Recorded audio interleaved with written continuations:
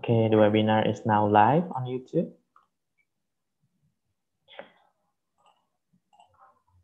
Uh, Ari and Yudi, please start recording the webinar.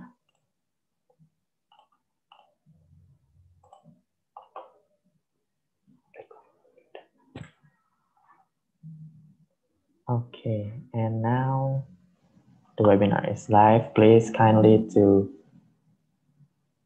I will kindly for all the panelists to turn off the camera and, uh, and mute the mic as we are going to loop TVCs first. Thank you.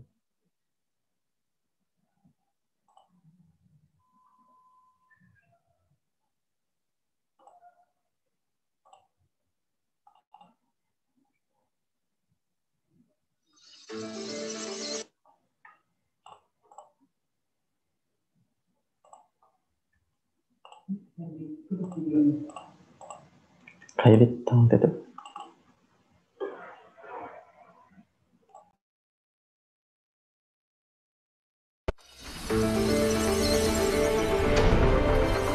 About 30 reporters are on the ground working undercover.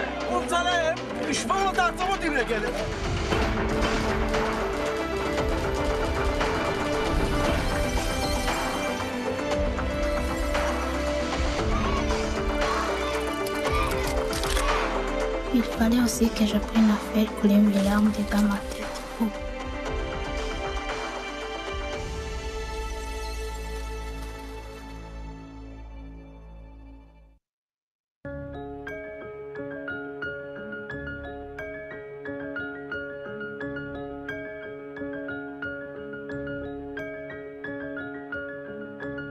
Je m'appelle Martha, j'ai 20 ans.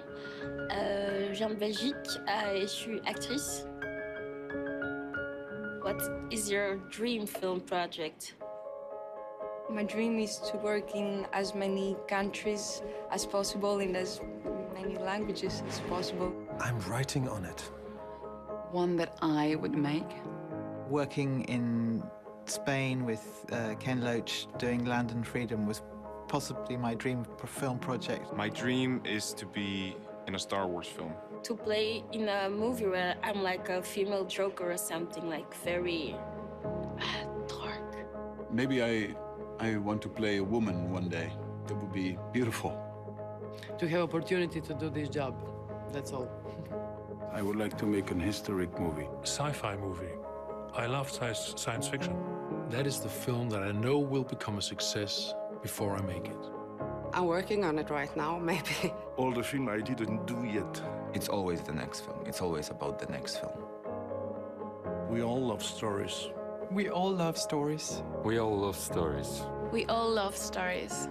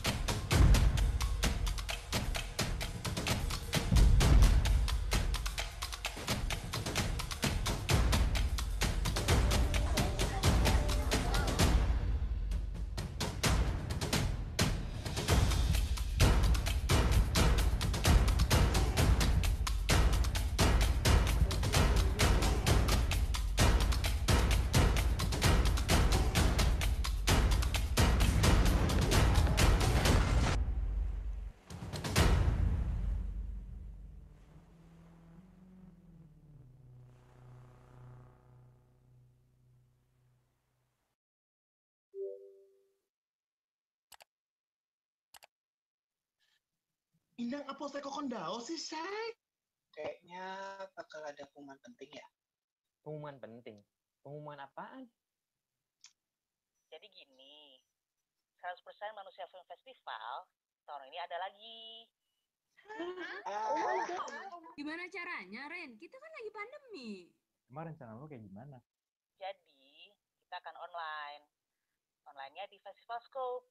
Let's go! Yay!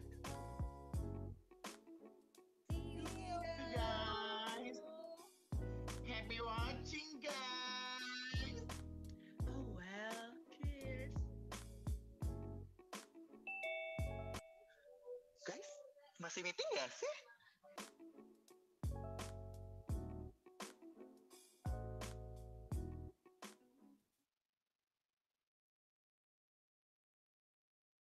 Not a very good state of affairs, Mrs. Jones. Not a very good state at all. There must be something you can do.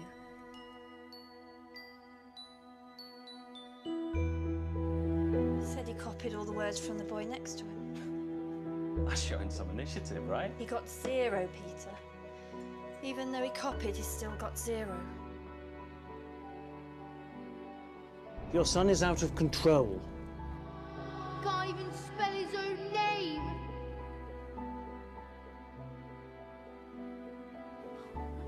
I'd like to go through life without being able to read or write or, or to be able to communicate. Yeah, Michael. Spelled M I C A L.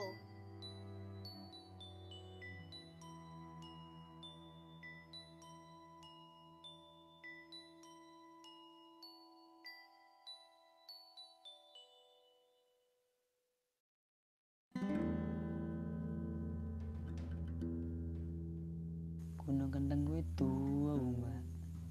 Tanahe subur, akeh sumbere, akeh guwane, sing iso ge ngairi sawahku lan sawahe kabeh wong sing urip nang lereng-lereng Kendeng. biasanya aksi ini kan tujuannya kepengen piye carane ono kerampungan tentang konflik kendeng iki Bapak cerita nang aku ning pati ki arep ana rencana pabrik semen. Mengko nek gununge kendeng di keruk, mengko sumber-sumbere sedo ilang, sering ana bencana.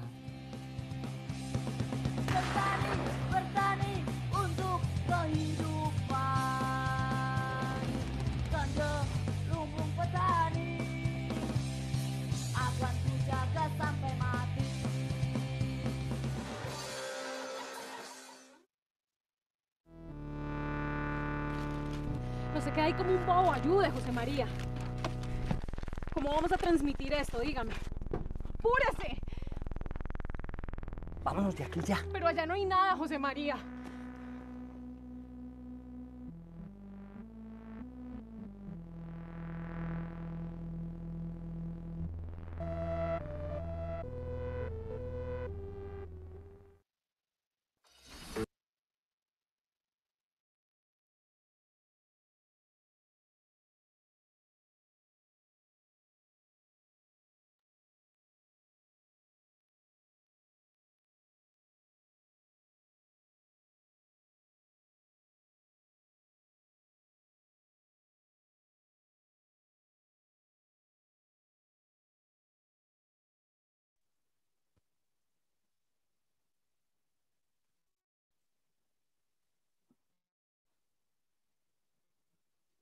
Halo, selamat malam semuanya. Selamat datang di acara 100% webinar Diversity Captured. Selamat malam teman-teman, para media, dan juga rekanan 100% Manusia Film Festival. Perkenalkan, nama saya Menina Putri Wismuti. Saya kepala program film dari Festival Film 100% Manusia tahun ini yang juga merupakan moderator Anda di 100% webinar hari ini. Uh, sebelumnya 100% webinar ini merupakan uh, program terbaru yang kami adakan di tahun ini uh, ketika kami harus mengikuti dan beradaptasi dengan kenormalan hidup berfestival di mana kami harus memindahkan festival fisik uh, festival film kami yang uh, biasanya berlangsung secara fisik ke dalam format online. Nah, um, sebelum kita mulai, uh, saya ceritakan dulu tentang 100% Manusia Film Festival. Uh, seperti yang tadi saya ceritakan, tahun ini Festival Film 100% Manusia memang harus beradaptasi dengan situasi kenormalan hidup yang membuat uh, kebiasaan kita berfilm festival pun harus berubah. Tapi satu yang tidak berubah adalah kecintaan kami sebagai saya pribadi sebagai film programmer uh, kepada uh, kecintaan saya terhadap menonton film, terutama film-film pendek. Kenapa saya cerita film pendek? Karena uh, dalam film pendek saya merasa bahwa ide-ide lebih bebas berlarian, terutama uh, di negara kami di Indonesia yang uh, kita juga masih menerapkan uh, sistem sensor terhadap semua konten film maupun uh, konten uh, acara lainnya. Jadi buat saya sangat menarik sekali untuk menonton film-film pendek baik buatan dari dalam negeri maupun dari luar negeri. Dan uh, karena itu tadi saya mengucapkan juga bahwa uh, film pendek jadi sesuatu yang lebih menarik karena bisa merangkum kebebasan berekspresi, terutama juga dalam menyuarakan hati dan pendapat terhadap situasi sosial dan isu keberagaman yang selalu kami bawa di Festival Film 100% Manusia sejak 4 tahun yang lalu. Nah, sebelum kita memulai webinar malam ini, izinkan saya menjelaskan teknisnya. Jadi uh, harap para panelis untuk mematikan dulu kamera dan mikrofonnya pada saat tidak berbicara. Saya juga akan mengingatkan nanti apabila kamera dan mic Anda masih mati pada saat nanti giliran Anda berbicara. Lalu uh, harap diingat juga bahwa webinar hari ini akan direkam dan disiarkan secara langsung melalui uh, YouTube. Dan uh, para final uh, para panelis kok finalis maaf. Kemarin habis mengusung festival yang lain ada finalis. Sekarang para panelis. Kepada para panelis uh, yang ingin berbicara, uh, ya ini mendengarkan dalam bahasa Inggris bisa langsung menghidupkan fitur terjemahan di sebelah kanan ada fitur terjemahan dan bisa langsung mengaktifkan uh, opsi bahasa Inggrisnya. Sementara bila Anda ingin uh, mendengarkan dalam bahasa Indonesia, uh, Anda harus menekan opsi bahasa Korea. Nah, ini juga saya bingung kenapa harus pakai bahasa Korea, tapi ternyata begitu adanya. Jadi annyeonghaseyo uh, bisa langsung diterjemahkan, langsung pilih aja ke dalam bahasa Korea tadi. Uh, karena ini juga ada tips sebenarnya dikasih tahu sama uh, penerjemah kami, kadang Zoom tidak bisa, me, belum bisa. Saya saya lebih memilih kata-kata belum untuk menerjemahkan dalam bahasa Indonesia. Jadi makanya dipilihlah bahasa Korea tadi. Lalu buat teman-teman uh, difabel, kami juga menyediakan uh, juru bahasa isyarat yang bisa dilihat dan agar kalian juga bisa ikutan berpartisipasi dalam acara 100% webinar diversity capture ini. Sebagai informasi tambahan, semua film yang dibahas dalam webinar ini masih dapat disaksikan dalam kompilasi 100% screenshots. Dan iya, oke. Okay. Uh, sebelumnya saya juga mengucapkan selamat datang kepada para panelis kami, yaitu Yudhistira Tegar Hermawan, sutradara dari film Nyalon,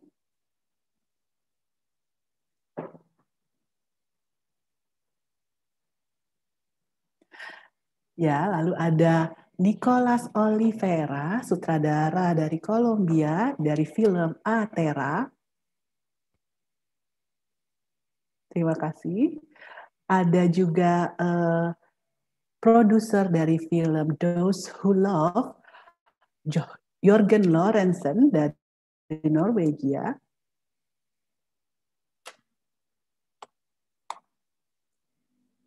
Dan kita juga ada sutradara dari film pendek Nikal dari Inggris, uh, Ye Weng Ho.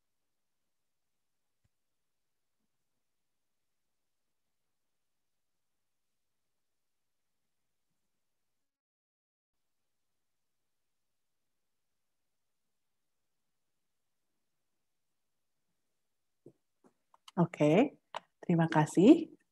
Uh, sebelum kita memulai acara ini, izinkan saya mengucapkan terima kasih kepada para pendukung setia 100% Manusia Film Festival dari uh, sejak awal kami berdiri, yaitu ada dari Uni Eropa, ada Movies That Matter, lalu juga British Council, Cinemax, Cineverse, Info Screening,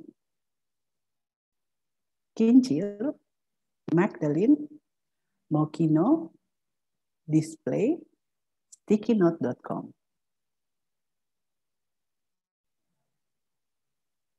Dan kita sam oh masih ada lagi sebelum menyambut ke sebentar.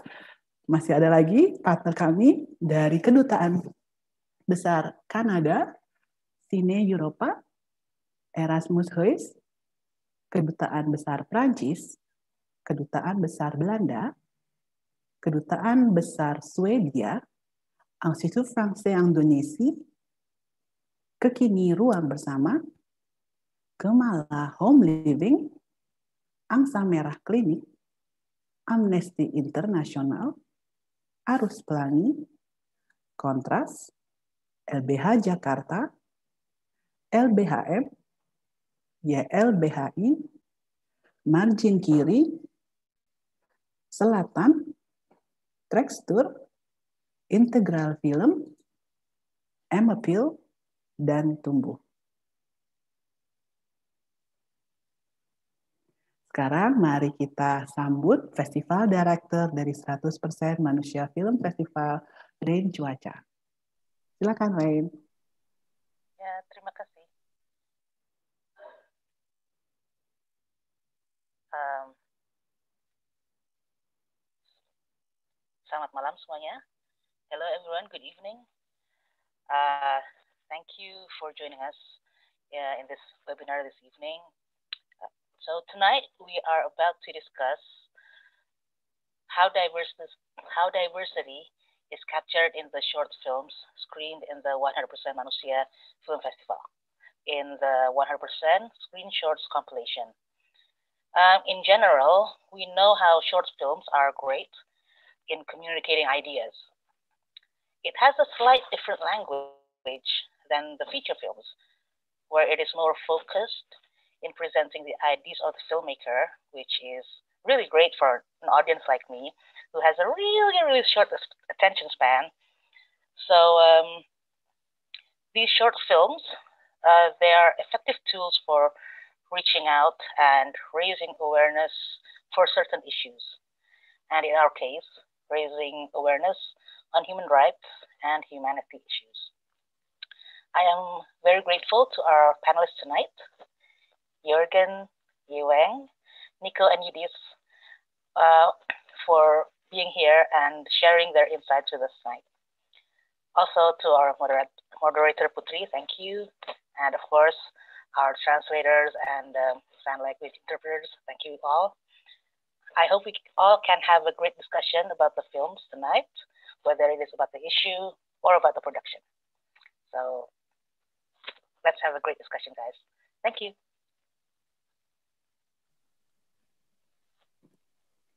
Thank you, Rain. Yes, let's have a great discussion, guys. So uh, I think uh, enough of the small talks. Let's get to the business, guys. this is what we are here for. Oke, okay, uh, saya ngomong dalam bahasa Indonesia. Nanti kalau saya ngomong dalam bahasa Inggris, saya ditoyor sama uh, host saya, Pak Farhan, jadi bos saya malam ini, dan juga Ci Yudit. Oke, okay, uh, pertanyaan pertama akan saya ajukan kepada uh, sutradara dari Inggris dari film Mikal. Tapi saya akan menanyakan ini dalam uh, bahasa Inggris. Semoga uh, tidak keberatan ya. Hi, Yewang, you may uh, turn on your camera and also your uh, microphone.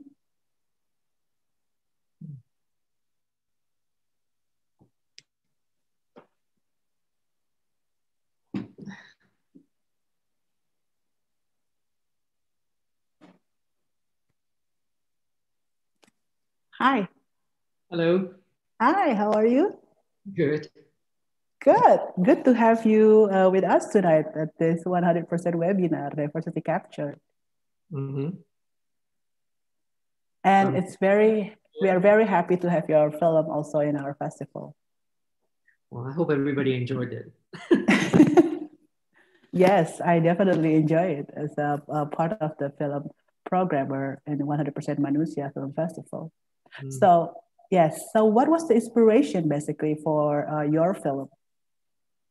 Well, to start with, I mean, you know, I, I live with somebody who has dyslexia, but I thought I knew, you know, enough about dyslexia.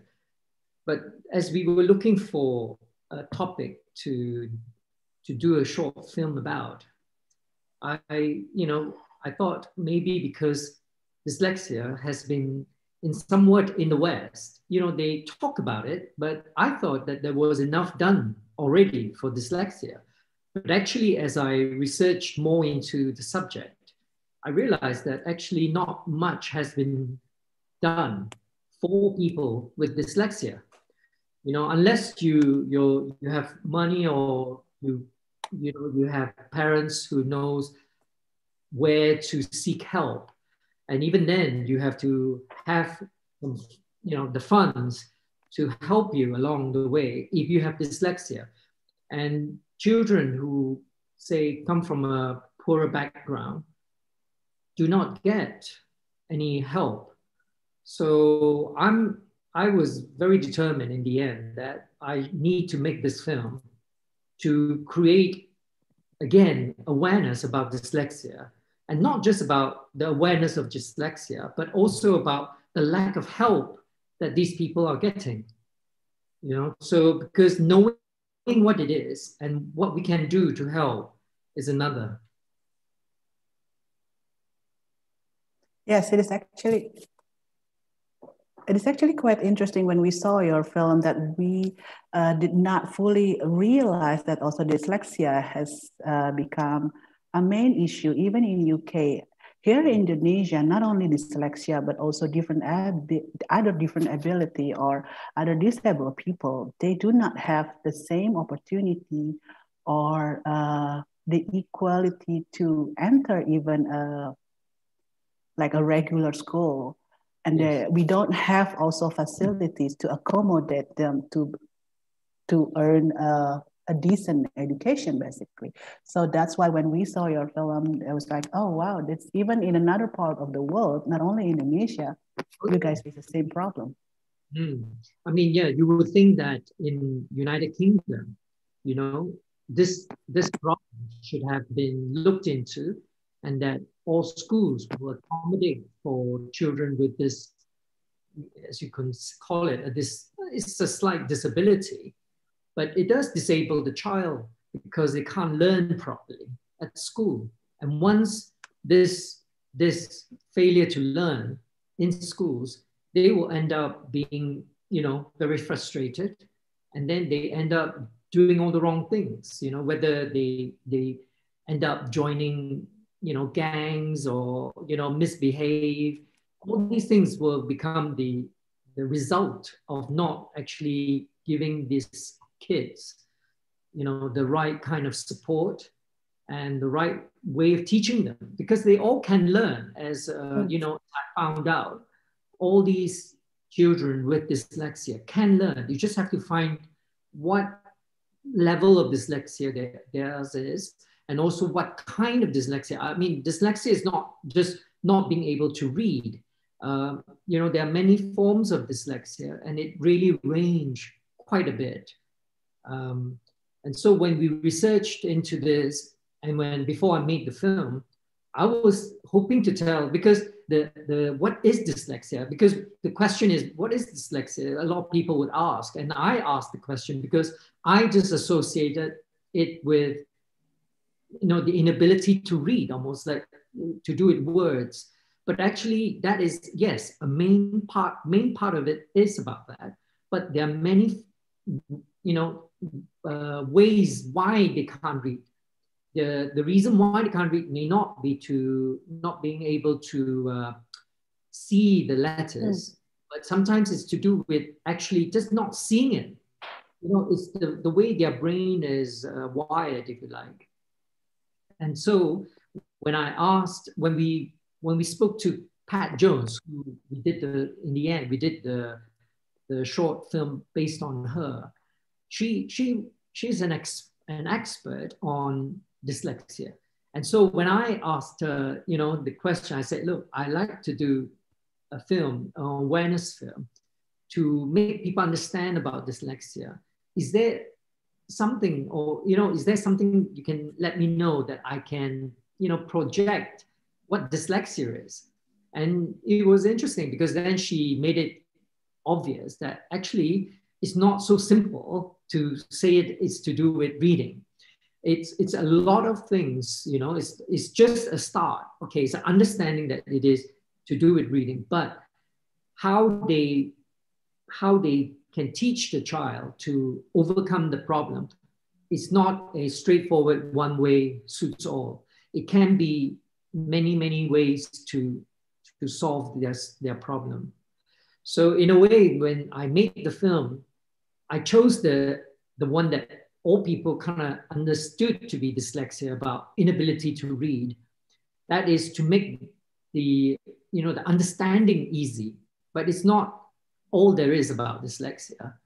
But the main point I hope that people get is the, to see, to feel the frustration of the child and the parents, you know, when they don't get the help. Uh, and hopefully that should spur people on to do something about this, you know, because we, we, we think actually, because after all these years of people talking about dyslexia, you know, there would have been a lot of work to help these people, but actually, from um, our research, we, this, uh, this help is not really forthcoming. All the kids, you know, that we go, when we go to, to these schools, uh, we find that children are not, you know, not picked up in their early age about dyslexia. And uh, if they are picked up by the teachers, you know, if they were trained, say, to, to kind of spot a child with dyslexia, it would be so easy to then quickly put them in the right kind of school or curriculum to let them overcome it. You know, once they overcome it, it's very funny because once a child is taught how to overcome that problem, everything falls into place. You know, it doesn't mean that they have to constantly like be taught, you know, differently. It's a way of them seeing things. And once they they know how to overcome that problem, all the others, as they grow older, it, everything will fall into place, you see. So it's, it's catching them very, very early so that when, they, when they're young, once you got them to know, oh, you don't read it like that, you, you have to look at this way, and then they, everything else will be fine, you know? And, uh, and then you know, throughout their educational his uh, life lifetime, they will be able to learn. So so I, well, let's let's hope that I mean, you know, different governments will do more for these people. Yes, I think uh, it is. It's quite interesting what you said that if you detect it very early and then you can trigger and how you can actually adapt. It is basically, it is the same. Uh, not same, probably similar treatment to also what we do to other children. So be, instead of putting them into the boxes and uh, treating them differently, we just need to find another layer to to treat some to treat them with something that can motivate them and like what you said to trigger and then also to to make them uh, just go directly into which direction that uh, they want to go with the dyslexia. Uh, also, uh, how is it ex ex uh, exactly with the education curriculum for the, uh, dyslexia kids in England? Um, it depends on the level of your dyslexia. The, the mm. very severe dyslexia, uh, children tend to go to specialist school. They have to okay. go which are, you know, only for these uh, dyslexic uh, children or children with uh, um, disability of kind of learning, learning difficulties. And when they, you know, those are only if you're very serious cases. Um, and they are private, most of these things. Very hard to get that through, you know, uh, governmental bodies and things like that. Uh, you, you really need to be, to have the money to send your child to these private schools. Um, but if your dyslexia is kind of very moderate or not so severe, mm-hmm. once they need maybe just one lesson a week just to start so that they understand how they can overcome their, their problem. You know, so it's a, it's a, you know, the, these children are, they can fit into the normal school systems. It's just that they need special help, maybe once or twice a week. It depends how, you know, It depends how it is, how much time they need to spend to get that extra help so that they will, they can follow the rest of the curriculum, you know, without any problems. Um, so it depends on the severity. Right. So, okay, so there is actually different classes and, and also different phase that they need to uh, adapt also. And uh, you mentioned earlier that this is actually based on the also your personal experience. Uh, so what is the most difficulty or the biggest challenge that you find so far in making the film? Well, I, I don't have dyslexia. It's just that I know people. yes. but uh, yeah, the, the problem of making the film at first was to really, first and foremost, do I want to tell people what dyslexia is really? Because, you know, dyslexia is very broad. As I said, you know, even the experts can't, can't give it, can't give us the information in a very simple one paragraph or one liner. You know, it's not so easy. So when, as the challenge for me as a director to try to, uh, you know, pass on this awareness to people about dyslexia was at first I thought maybe, you know, okay, this, this information about dyslexia, you know, do I need to tell them so much? You know, it might be very confusing mm. because it is confusing uh, subject. So in the end, I kind of worked through it and I realized maybe the best way is to just go for the feel, the, the frustration, to, to try to project the, the, the, you know, the torture the little boy went through, you know, the frustration he felt, and, um, and also for the mother. So, so that I hope the feeling of that, oh my God, you know, I, I hope that people, when they watch this, they say, oh, we have to help these people, you know, because it, it's so awful and it's, uh, and can cause so much distress to the family and to the child. So that in the end was my focal point, you know, to get that emotion, emotional connection with the audience. And indeed, that actually delivered. Uh, I mean, I basically shed a tear watching the film. So thank you for making this film. So yes, Yoang. Thank you. And uh, I think we will uh, continue with uh, the next filmmaker. And anyone who wants to ask uh, Yoang questions about the, the her, his film, Mika, you can also uh, put the questions at the Q&A button below. You can also put it in uh, Indonesian language and I will help to translate uh, them to Yoang. Thank you, Yoang. Thank you. All right, next, uh, I would like to uh, call the filmmaker of uh, the Colombian uh, filmmaker, Mr. Nicolas Oliveira.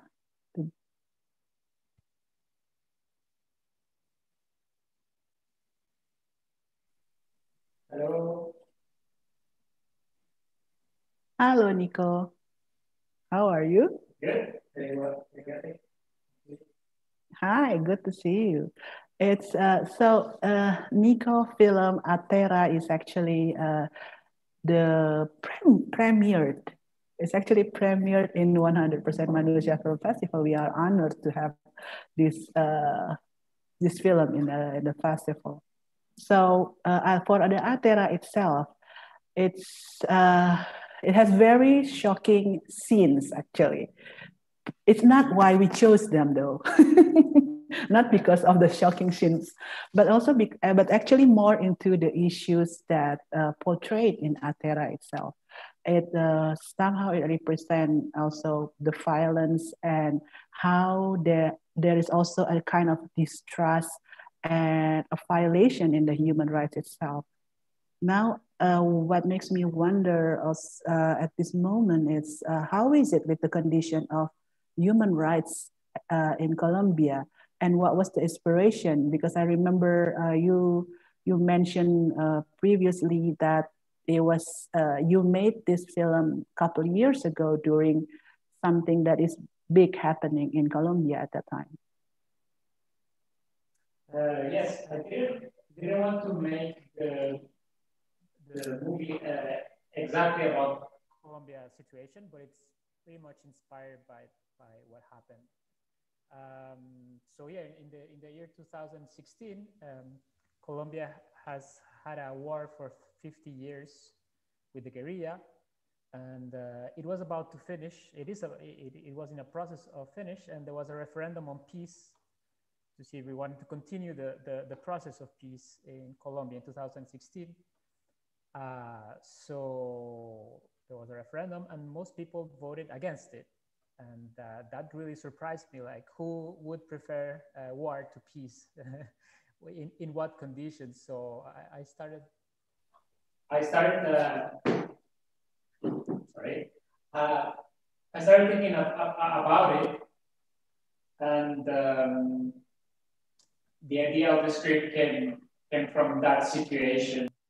Like I started investigating like why uh, why this happened, and I would see like there would be like a lot of fake news, a lot of, of, of false information about the process, and that influenced a lot of the decision of a lot of people.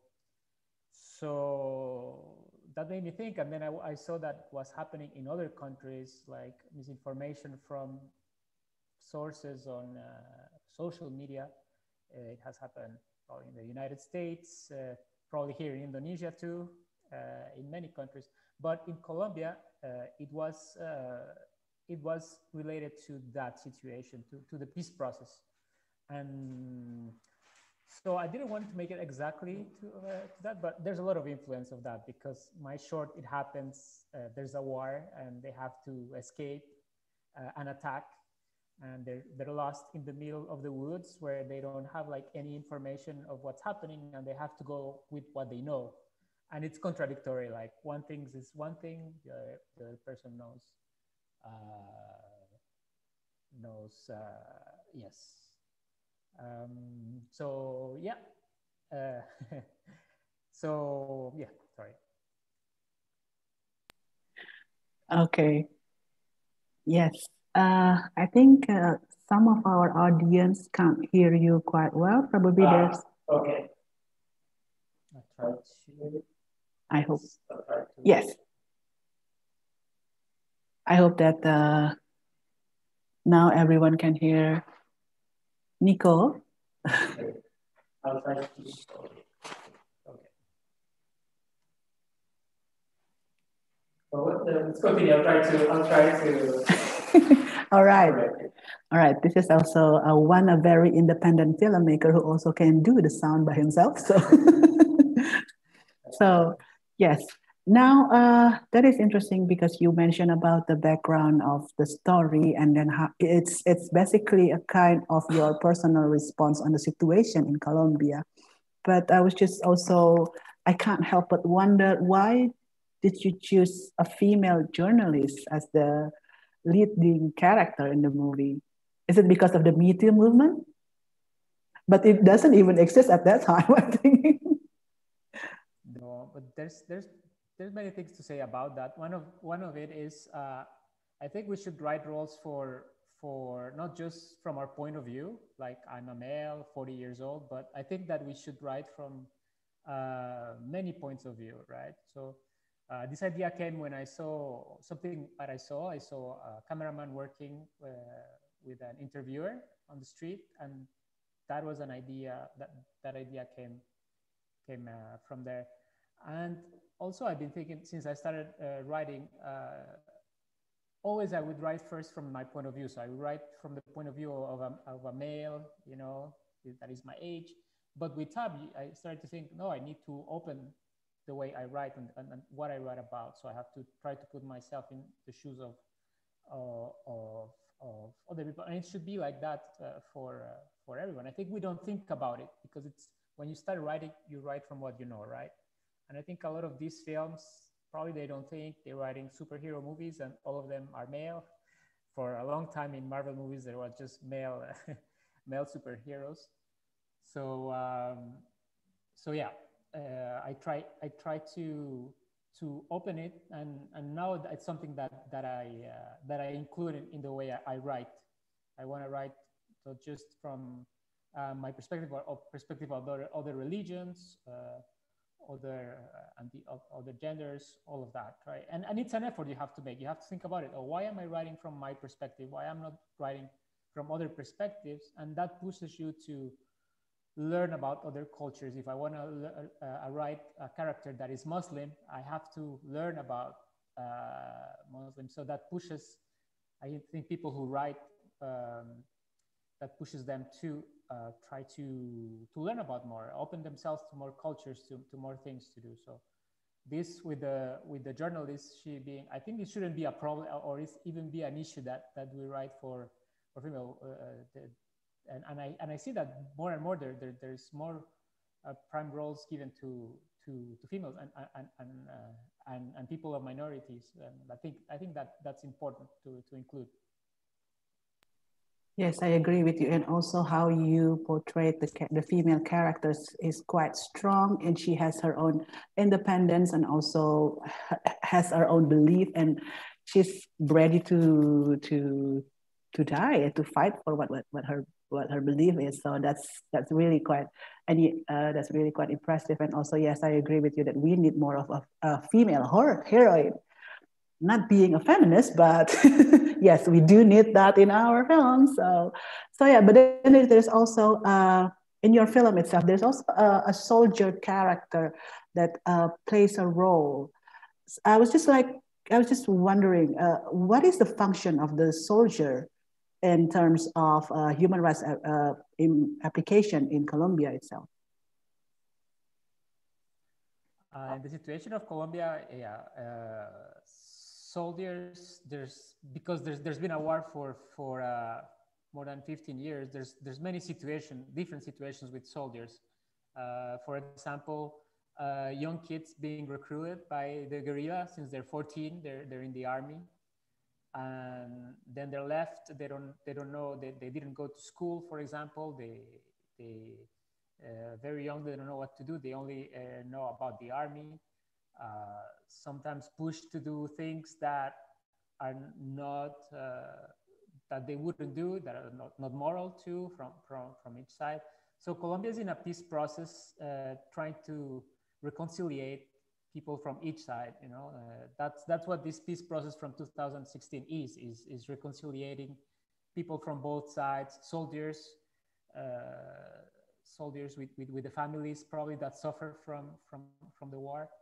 Um, so uh, so yeah, so so so in a conflict, they are also a victim of, of, of the conflict. They're not just the perpetrators. They are they are perpetrators, but many times they're also victims of it you know so a little bit in a more fantastic way that's what happens a little bit in the short he's there he's, he's escaping an attack and he finds the the journalist um, those things uh, i think i put things that happen in colombia and probably in other conflicts but i but i put them uh, I, I put them more like in, in that in this story, in one sing, singular story, things that, that happen more in a, in a larger scale. Yeah.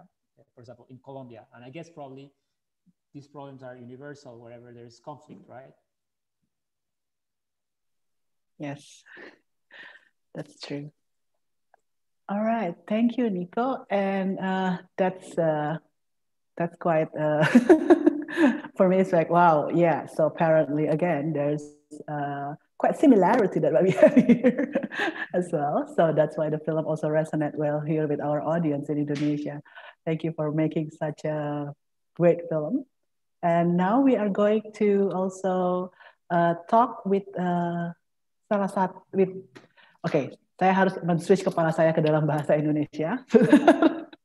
Karena uh, host saya Farhan mengingatkan agar saya nggak boleh jadi alay, nggak boleh dicampur-campur bahasanya dalam bahasa Inggris dan bahasa Oke, kita akan ngobrol bareng salah satu. Uh, sebenarnya malam ini harusnya kita ngobrol juga dengan sutradara uh, film pendek dari Indonesia, yaitu uh, Kairunisa. Hanya saja uh, Ilun, panggilan akrab saya kepada Kairunisa, uh, lagi sakit demam, jadi dia berhalangan hadir malam ini. Dan uh, tapi kita masih ada Yudis. Hai Yudis, apa kabar?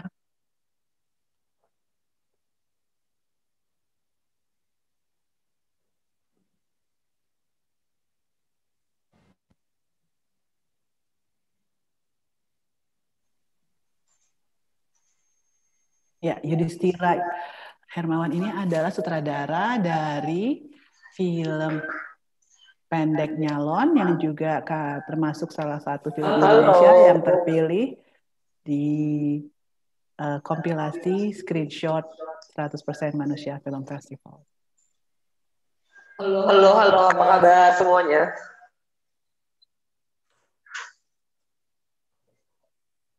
Kabar baik. Oke. Uh, bagaimana? Kok suaranya agak bergema ya? Sorry. Sebentar. Ya. Oke. Nah, uh, Yudis, aku mau tanya soal bagaimana sih ketika kamu memproduksi film Nyalon ini sendiri. Aku dengar kamu uh, membuatnya pada saat uh, awal tahun ya, udah dari mulai di tahun ini ya. Nah, uh, mungkin bisa diceritakan sedikit untuk proses produksinya seperti apa dan uh, juga kenapa memilih karakter transpuan dalam film Nyalon ini.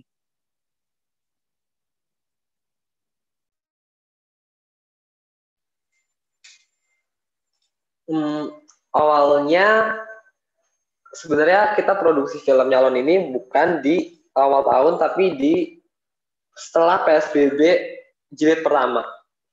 Dan kenapa enggak kenapa kita ngambil tokoh transpuan uh, ceritanya gini tadinya tuh uh, film ini awalnya kita mau ngebuat film ini uh, tentang pandemi. Hanya tentang pandemi tentang pedagang yang uh, terdampak pandemi. Tapi ketika waktu itu beberapa hari sebelum pitching sama teman-teman untuk membuat film ini sama tim aku ngeliat uh, ada transpuan yang masih bekerja di jalan sebagai uh, musisi jalanan. Dan itu ngelihatnya kayak uh, dari situ baru terinspirasi kalau misalkan uh, aku pengen ngambil transpuan gitu. Nah di situ awalnya susah untuk pitching ke teman-teman uh, meyakinkan bahwa karakter transpuan ini harus uh, ada di film kita gitu. Uh, karena mereka masih punya stereotype uh, dan stigma negatif tentang uh, transgender dan uh, LGBT community. Tapi uh, berusaha untuk ngeyakinin dan akhirnya uh, kita uh, produksi Uh, dan kenapa sebenarnya kalau dari saya kenapa transpuan? Karena di masa pandemi bahkan sebelum pandemi transpuan itu kan kita nggak nggak apa transpuan itu kan masih belum bisa punya akses uh, ke pekerjaan yang uh, aman gitu. Sekarang kalau misalkan, kalau misalkan kita lihat transpuan itu pasti di otak kita kalau seorang transpuan kerjaannya kalau nggak jadi pekerja seks komersil, jadi uh, pekerja salon, atau kalau misalkan ada di TV pun itu hanya menjadi bahan olok-olokan, ya kan?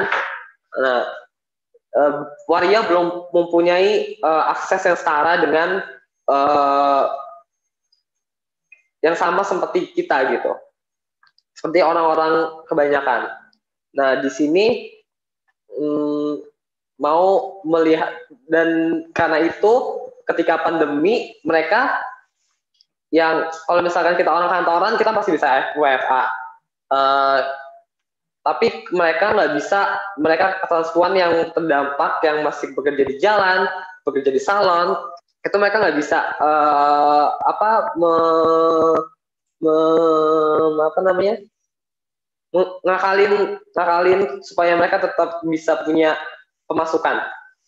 Akhirnya udah mau nggak mau mereka ada yang eh, nekat untuk tetap mengamen walaupun pandemi itu kan bahaya banget gitu kan. Nah tapi orang-orang nggak apa namanya eh, tapi orang-orang nggak peduli dengan si transpuan ini. Nah dari situ eh, ya di akhirnya aku eh, berusaha untuk me- memperkenalkan transpuan dari eh, sisi yang tidak terlihat gitu. Kalau di film Nyalon ini kan kita ngambilnya transpuan eh, yang menjadi penengah di antara eh, dua di antara eh, di, di- penengah di dalam konflik itu kan. Berarti orang yang bisa mengambil konklusi di tengah pandemi ini gitu. Kalau misalkan biasanya yang kita tahu ya stigma yang ada perempuan eh perempuan maaf transpuan itu eh, cuma hanya jadi bahan olok-olokan tapi di sini mau ngasih ngelihat bahwa transpuan eh, juga bisa eh, mengambil kesimpulan yang bijak. Oke, jadi tadi kita eh, sempat ngobrol, kamu juga sempat membicarakan mengenai stereotipe tertentu dari transpuan, di mana ada stereotip yang membuat transpuan tidak bisa menerima kesempatan yang sama dalam mencari pekerjaan sehingga eh, mereka kebanyakan bekerja seperti yang tadi kamu bilang, bekerja di jalan atau bekerja di eh, salon kecantikan eh, atau eh, hal-hal yang serupa seperti itu. Nah, eh, buat kamu sendiri, eh, apakah stereotipe-stereotipe ini eh, sejauh ini dari yang kamu lihat sudah berhasil eh, dipatahkan atau justru mungkin ada faktor lain yang eh, membuat eh, transpuan sendiri eh, agak memiliki keterbatasan dalam bergerak? Kalau Oke, kalau kalau misalkan stigma yang terpatahkan atau belum, menurutku belum ya. Eh, masih banyak. Eh, bahkan di angkatanku eh, aku eh, 21 tahun. Dan apa namanya dan seharusnya kan di angkatan aku eh, di anak-anak muda sosial aku eh, sudah bisa menerima ya karena seharusnya. Tapi di kalangan anak muda aku tuh di kalangan angkatanku tuh masih nggak apa masih banyak yang salah paham tentang eh, transpuan. Mereka masih menganggap transpuan eh, itu sesuatu yang eh, apa sih kalau mereka bilang tuh eh, azab Tuhan, apalah segala macam penyebab eh, bencana alam dan apa eh, dan stereotip yang kayak gitu mungkin yang sa yang tadinya seharusnya bisa gampang dipatahkan di usia kita tuh eh di, di angkatan aku tuh di kalangan aku sekarang tuh nggak tahu kenapa makin susah. Dan menurutku eh, anak muda itu anak muda itu kok jadi gini ngomongnya? Maaf, maaf. Jadi eh, intinya adalah anak muda. Bentar sebenarnya aku deg-degan loh kak. Tarik nafas dulu, santai aja. Aja. kita eh, coba ya. Nah sebenarnya aku mau ngomong eh, di kalangan kita di anak muda kalangan aku eh, ada yang udah ngerti ten- eh, terhadap apa ini transpuan dan isu transpuan ada yang nggak ngerti ada yang masih belum ngerti. Nah yang ngerti ini mereka cenderung diem.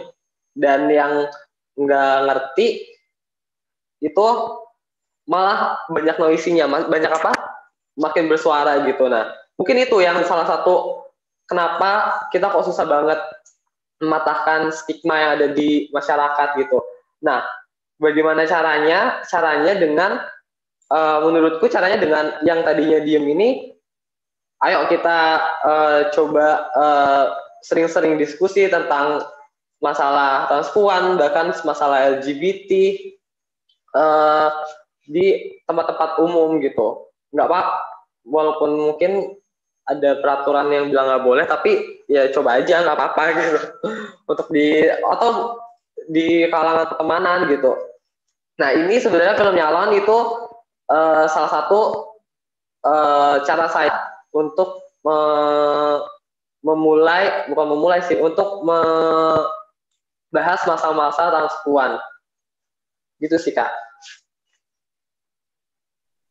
Oke, Yudis.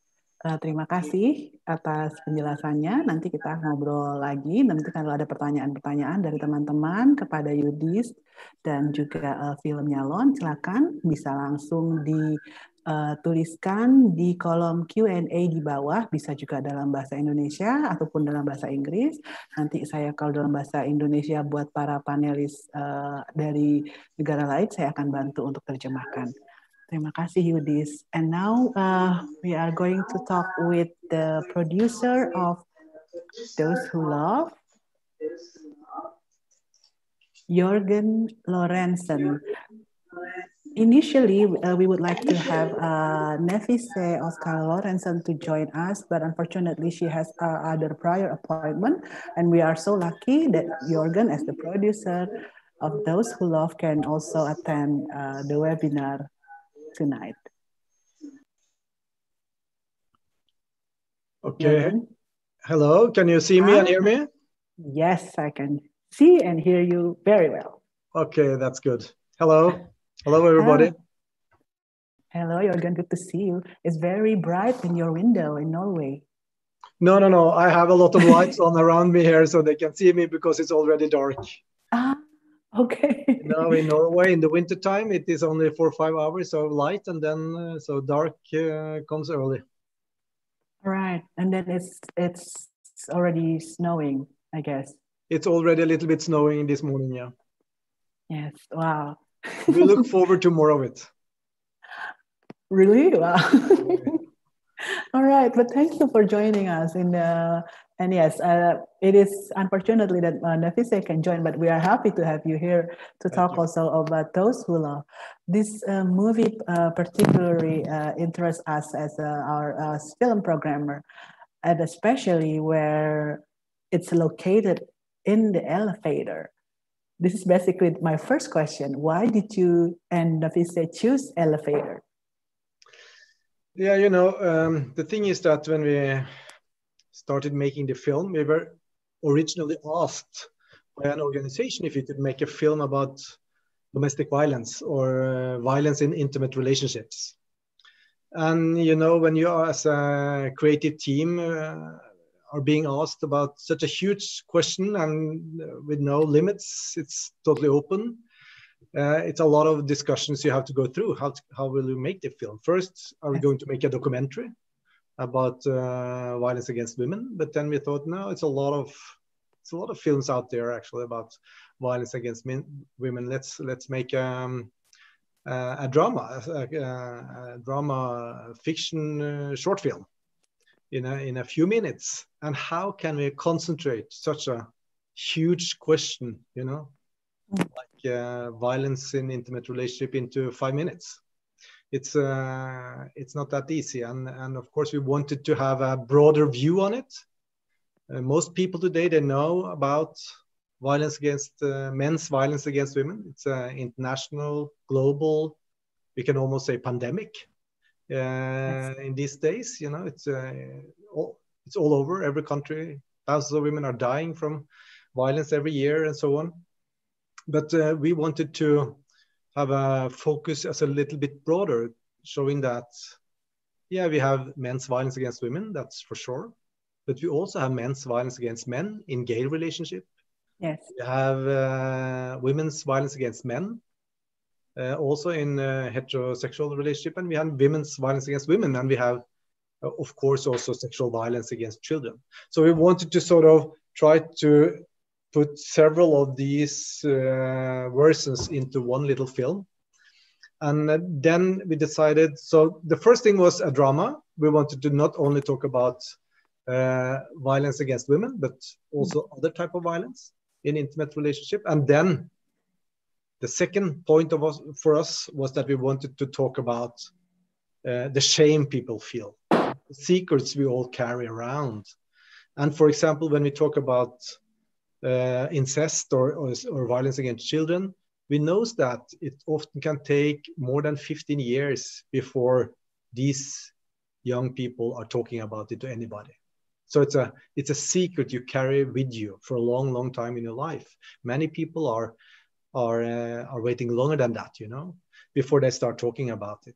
So we wanted to sort of show this uh, uh, in a filmatic way these secrets that we all have these uh, these taboos we are carrying the shame we are carrying with us. Because it's not a thing we just go out and talk about. And that is when we decided to to uh, have this black box. You know because uh, the image of the black box is uh, of course from airplanes. Mm. we, we are all searching if an airplane is crashing. We're all searching for the black box because what is in the black box? Yes it's tr- truth about everything. You know the truth is there. So we have this black box that we're, we're carrying around with the truth in it you know? And uh, and at the same time so then we have to find a location. So what is how can we do this in such a four or five minutes way? You know how can you tell these stories into one uh, uh, one you know connected story and that's when we decided to make yeah let's put it in an elevator and make a house of violence where we have several floors where you can go and talk about violence. You have physical violence uh, first floor uh, psychological violence second floor you know and then uh, you have sexual violence and then you have incest and you know. So we have different you have a house where we can go and we can speak about these different types of violence. And then we decided if you put all the characters into one elevator it's very concentrated it's very it's very compact. Uh, we have them there with their, with their stories together and are they are they ready to to go out? You know this is the thing. Are, are you ready to, go out and start talking about it or are you not?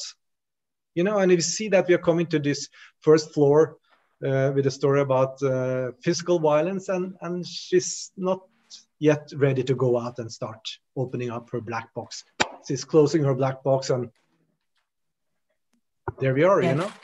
So it's um, so it's also a question about you have to start talking about it Yes, you have to I... leave the elevator in a sense. You know, we are we are standing in the elevator for years in our lives. We have to leave it. We have to get out there. We have to take it out. This is this. This is the elevator symbolizing. You can say. Yeah, and I think that's uh, worked pretty well and very effective in creating also a kind of intensity yes. and a thrilling moment. I mean, and also a little bit of claustrophobic, which probably everyone could feel. And also, this is basically why we choose this film because it resonates well with the situation at this moment. With, as you mentioned, in the, in the pandemic, the domestic violence uh, is the number rises up. And then also not only in heterosexual relationship but also as you mentioned uh, in in lgbt relationship and also in parents and in any kind of relationship. And it is also uh, the interesting part of having layers of floors like you mentioned like in a house of and when they holding also this black box which is I think all of us can resonate. We are, and yeah. it is, and also to admit that we are holding this hold back is also okay. Yeah. Uh, that is why you, uh, not to be a spoiler, probably maybe someone already haven't watched the it's film. It's not yet. a very long film. It's not a very long film.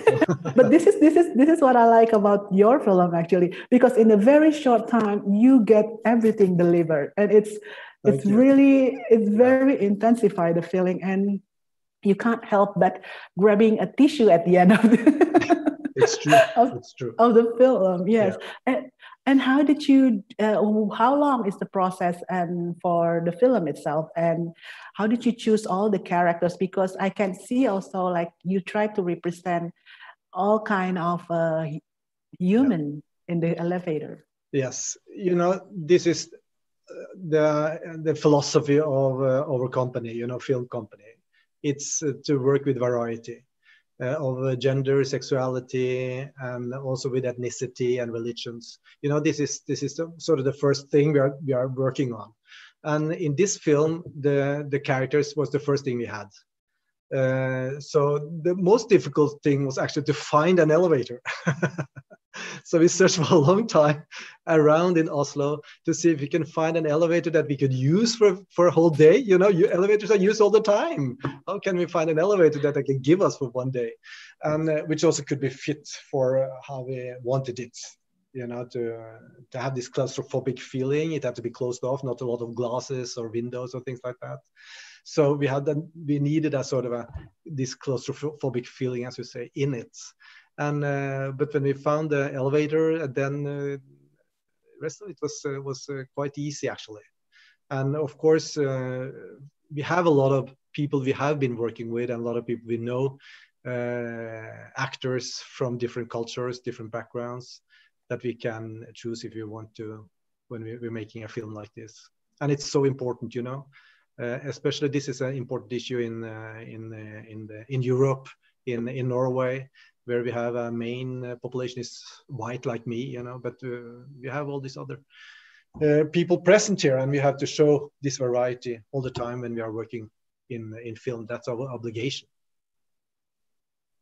Yes, and I was now I'm surprised that to know that it's actually a real elevator. I thought that it was just like in the studio. No, no, no we, we tried to see if we can make it, but we wanted no, it's a real elevator.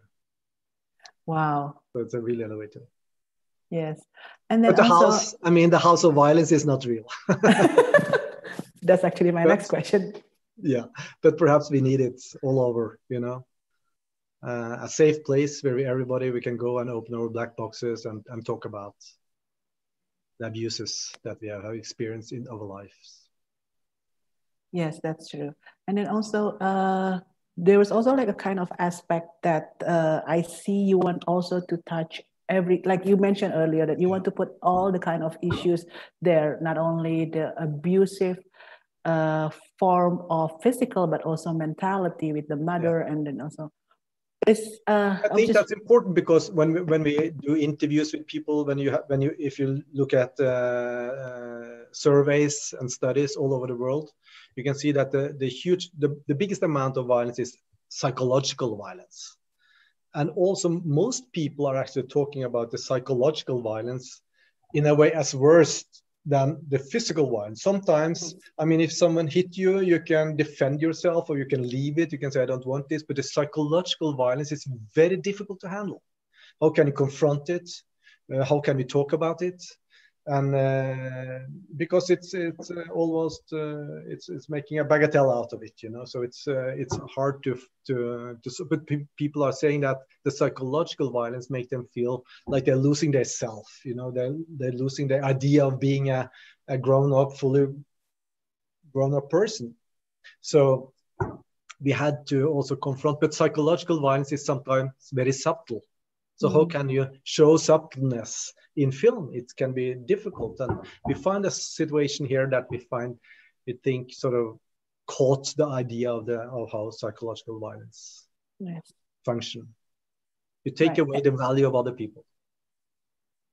Yes, and how is it actually with the psychological violence and also the mental health uh, treatment in uh, Norway? Uh, I think it is uh, better than many other places.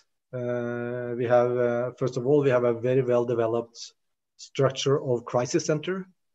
and the crisis center here, it's open for both men and women. And they are all over in the country. So all regions have their crisis center, and it's a lot. People can go there. They're open for everybody young and old, uh, and so on. And also we have uh, family crisis centers uh, or more psychological or therapeutic help for families in, in also having difficulties where you can go without costs, you know, just to talk for a couple of hours. So it is available. Um, the thing is that we need to tell people that uh, this is something you have to go and talk about. True. Here in Indonesia, we have that kind of challenges to uh, convince or motivate people to be more open with this kind of issue, Yeah. and and also we don't, we we rarely have a kind of crisis center. That's why within the festival itself, we provide a a session where people can do a kind of a Yeah. venting session in 100% heart to heart. So that's actually started also at the same time the film, your film is being screened this afternoon. So this is really interesting to have your film. Thank Yes. you. I I really hope it will be used because this is what I think it's uh, it's a film that can perhaps trigger people to to go out and talk about it because as you say it's a huge problem in uh, in many many countries and for me as a feminist uh, I'm of course very occupied with uh, giving the consciousness to men to start uh, dealing with it because Yes. even though you have find violence in many different relationships it's basically still mostly men that is the perpetrator of violence so we have to focus on men and and start uh, asking men to change I agree with you, especially here in Indonesia. I know.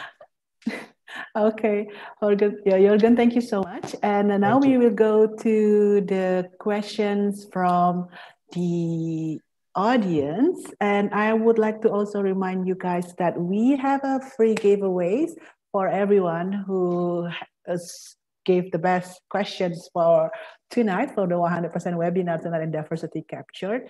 And you can also, oh, sorry, why am I speaking in English? Oh ya, jadi semuanya bisa eh, bertanya di tombol eh, di fitur pertanyaan Q&A di bawah eh, di bawah. Jadi kalian bisa menanyakan segala macam pertanyaan bisa dalam bahasa Indonesia dan bisa juga dalam bahasa eh, Inggris. Nanti kami akan ada ada giveaways juga buat para penanya terbaik eh, malam ini. Jadi silakan di- eh, menanyakan di di kolom tersebut, di button tersebut. Eh, sebentar, saya mau bertanya dulu kepada host, apakah eh, para panelis harus membuka kameranya sekarang? Oke, ya. Saya saya mohon agar para panelis bisa membuka kameranya. For this Q&A session, I would like to ask the panelists to open the, their camera, but still mute their, uh, their microphone. Thank you, Yewang. And uh, we are still waiting for, thank you, Nicole and Yudis. Great, thank you, Yudis. All right, um, now the first questions. So, uh, yes, well, both questions are in Indonesian language, so I will translate to you guys. Wow, it's uh, I'm very appreciative for all of the panelists who already wants to voices their uh, the importance of other community in their film. Uh, and I'm and thank you for uh, 100% Manusia. The discussions is really helpful, and I'm very happy to hear that. All right, so mm, there's no questions in so just an appreciation. Thank you for the anonymous attendee for giving this. It's really, really an, a good uh, comment for all of us here. Okay, now is from uh, Siti Fadila. I would like to ask, oh, saya mau tanya ke, okay, saya mau tanya, so she, Siti Fadila has like a, sorry, Siti Fadila has like a three questions. First is actually to Yudhistira, how people respond to your film, and then also uh, basically also to all of you how the uh, to how the people respond to your film those who love Jorgen and also to uh, the film of Mikael and uh, Atera as well. So probably we could start with you this first.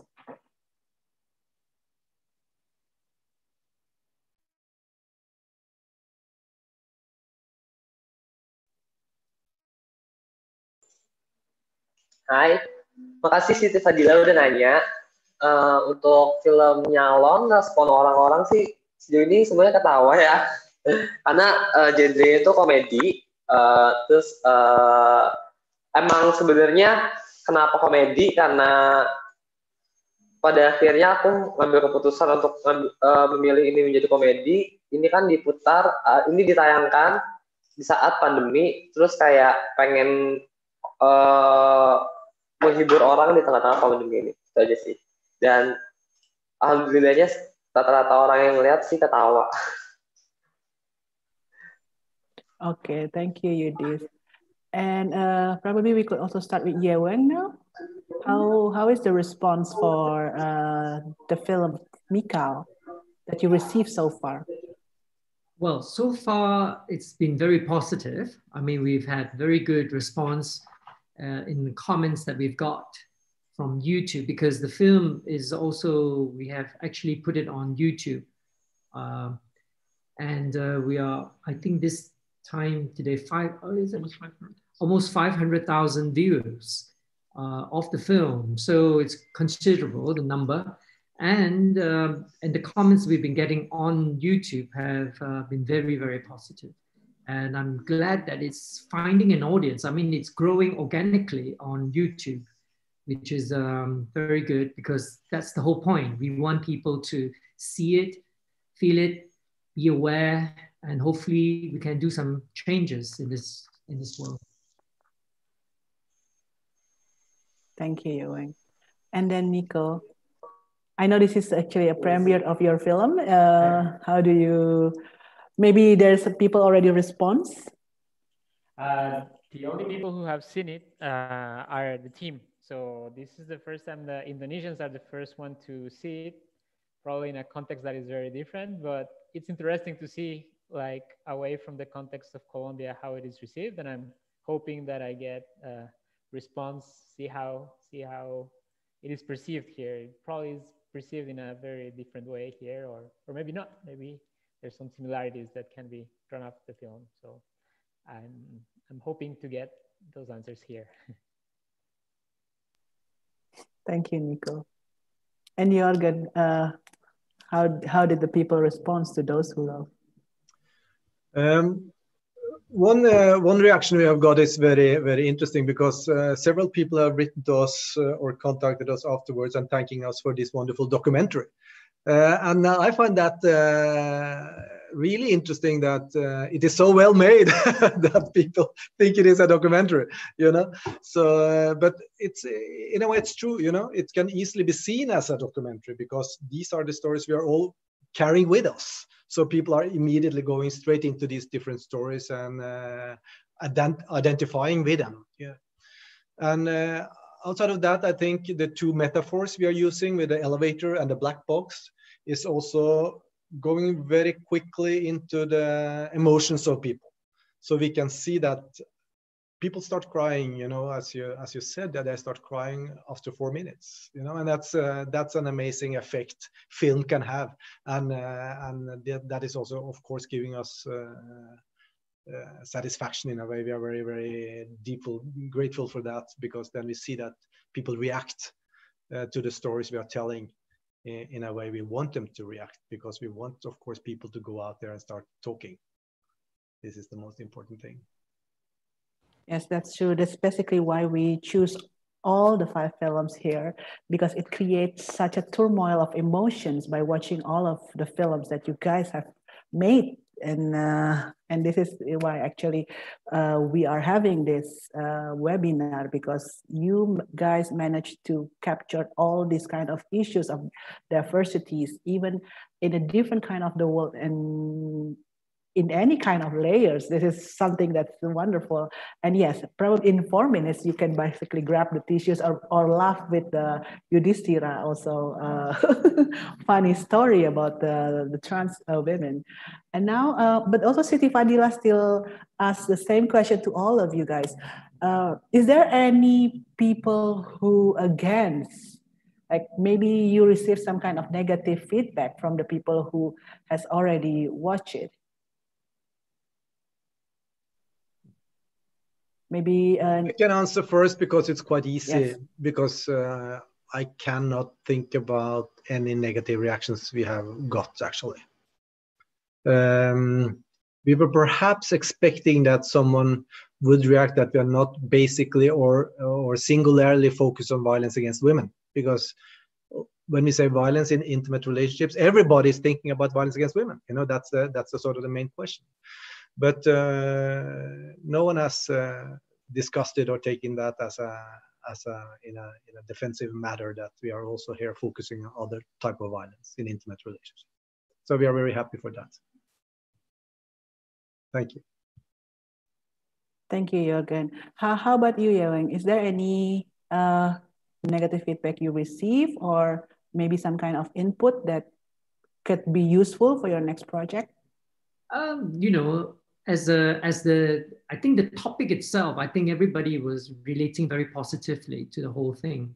You know, if there were any criticism, I think they will criticize maybe, well, maybe the direction or maybe on the, you know, technical side of things. But we we didn't get many of that. You know, you may get the occasional people who might say, "Oh, I don't like that music" or something like that. But it's not to do the issue. I think most of the time, uh, every comment that we've had, they have been really very very. And um, you know, maybe you get the occasional people who who think that, "Oh, I don't like that music," but that you know, but those things you can't please everyone. You know, on the actual making of a film you know there are so many things you can you open yourself up for criticism for for the filmmaking but in terms of the issue and uh, i think most of the things that have come back you know we've been very very happy with the response Yes. Oh, that's good. And then, yes, I agree with you. Actually, we cannot please everyone, but it is still a drive for us to create good films and to still voices our uh, issues through our films, actually. So, yes. And then also for uh, Nico. Well, not yet. Are you still muted, Nico? Sorry. Oh, sorry. So, no, not yet. No, no positive and no negative. So, we're safe for the moment we need to hear from Indonesians now, see what they think about it.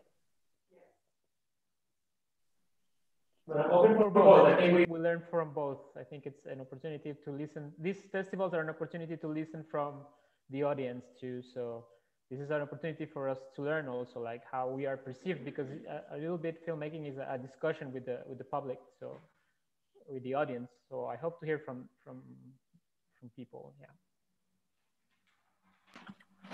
Yes, this is actually a good opportunity for everyone also to let Nico know. Nico is available on his Instagram and also at, at Terra Film Instagram so that you guys can actually also uh, directly send your feedback to him.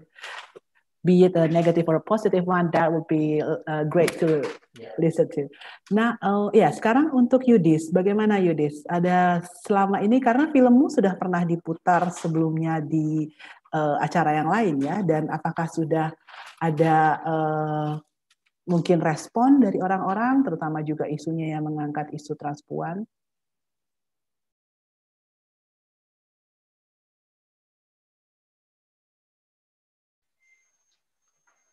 Sebenarnya, uh, sebenarnya ini semua udah dipikirin dari awal. Ketika mau kita, ketika kita mau mengangkat uh, isu trans, mengangkat isu transpuan, uh, awalnya pikir kalau misalkan di Indonesia uh, transpuan itu masih dianggap sesuatu yang tabu.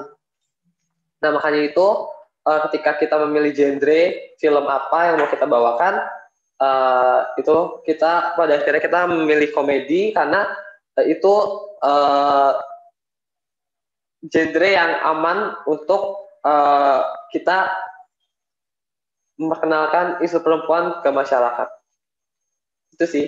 Jadi semuanya bisa uh, tertawa tanpa ada rasa rasa apa namanya? No offense gitu loh. Jadi tanpa ada rasa dikuliahin gitu ya? Iya. Tersinggung. Iya, iya, benar, benar, benar. Gitu maksudnya. Gitu. Sejauh ini sih belum ada. Gitu. Sejauh ini sih belum ada, belum ada. Semoga nggak ada ya. Semoga semua pendapatnya uh, semakin mendukung dan positif. Oke, okay. uh, sekarang kita uh, lanjut ke sorry. Sekarang kita lanjut ke pertanyaan selanjutnya. Ini ada pertanyaan untuk uh, Nico. Uh, you mentioned that your film was inspired by events in Colombia a few years ago. But uh, watching it today, there seems to be a lot of parallel messages to current events. Can you share how you see the relevance of the film to today's current event?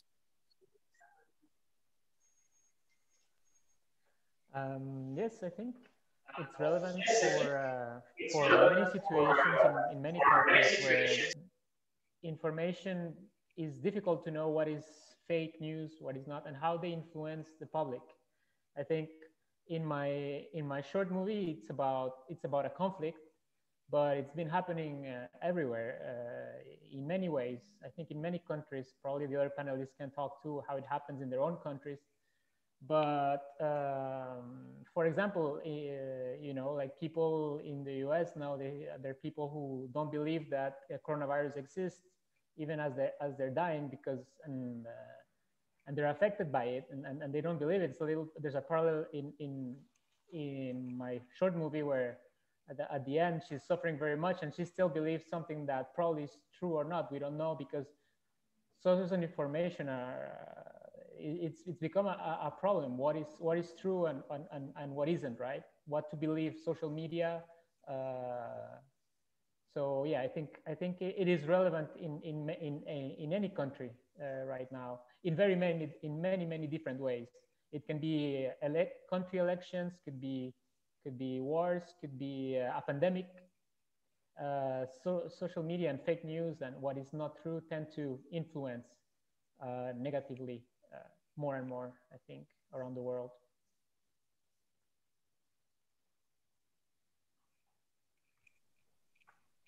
Thank you, Nico. Yes, I think that's also answered. And this is why actually why Nico Films Atera is also being selected in the festival because it is also resonate with the issues here.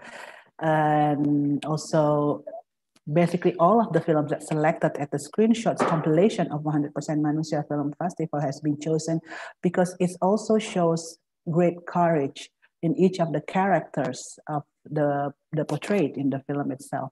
Now, uh, there's also another uh, questions from uh, Jaya.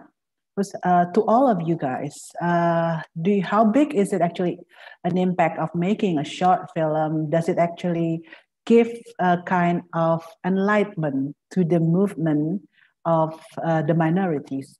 And uh, which one that can actually uh, give more effect? A feature length film or a short film? Maybe Yoen, you can start first.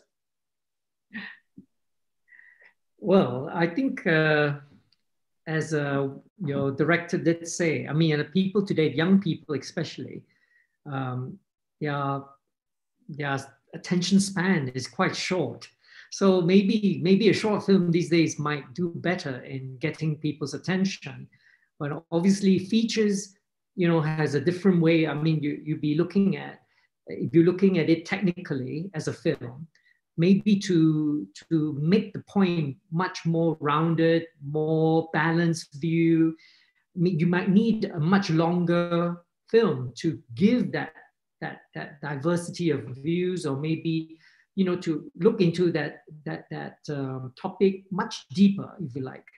Uh, then you might need a feature.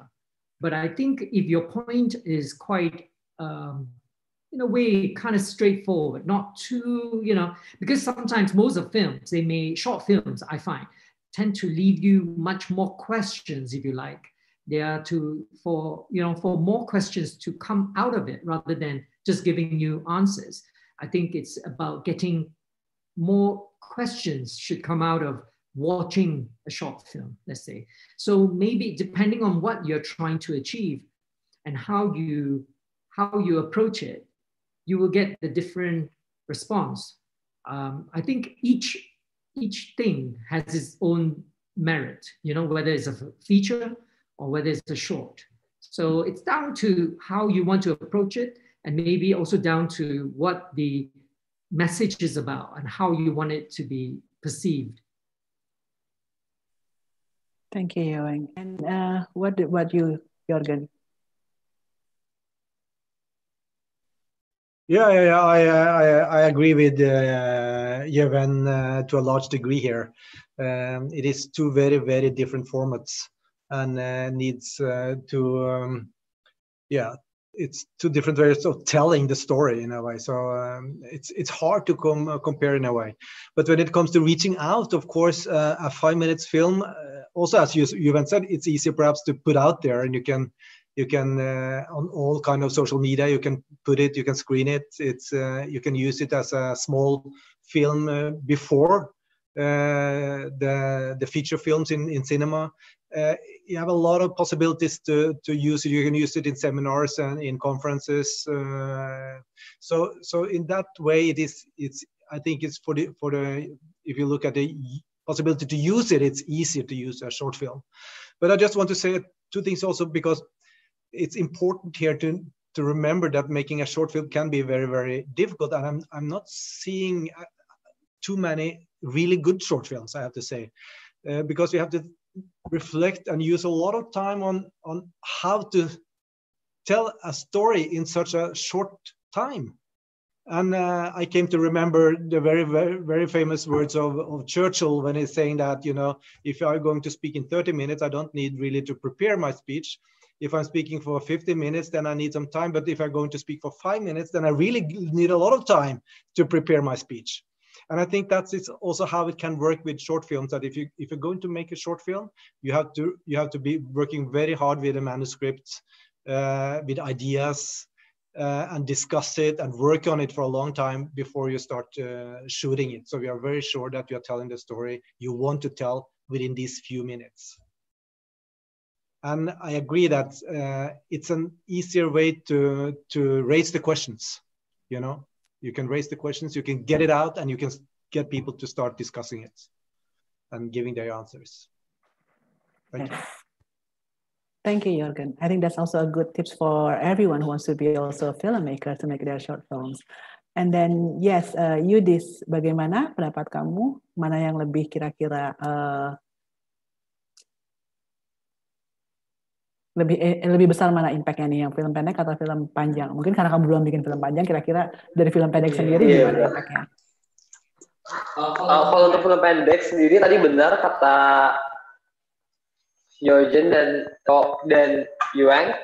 Uh, tapi kalau di Indonesia tadi kata Mbak Putri di awal bilang uh, untuk uh, membuat film dan uh, dengan isu yang sensitif itu lebih uh, gampang film pendek.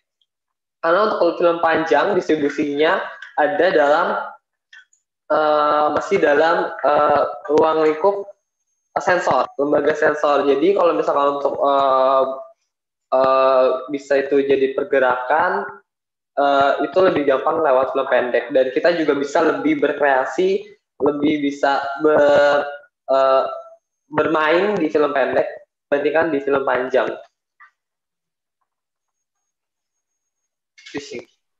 Oke, okay, Yudis, terima kasih. Dan uh, sekarang kepada Nico. Eh, sorry, now it's to Nico. yes, which one? Which one is more uh, impactful, Nico? Mm, they both be, can be very. Both be, can be very impactful. I, I, agree with the other. I, agree with the other panelists a lot. Um, also, I think when you have short movies that are made into uh, full-length movies, sometimes the the result is not is not appropriate because it feels like it's been stretched out. It's it's two different mediums.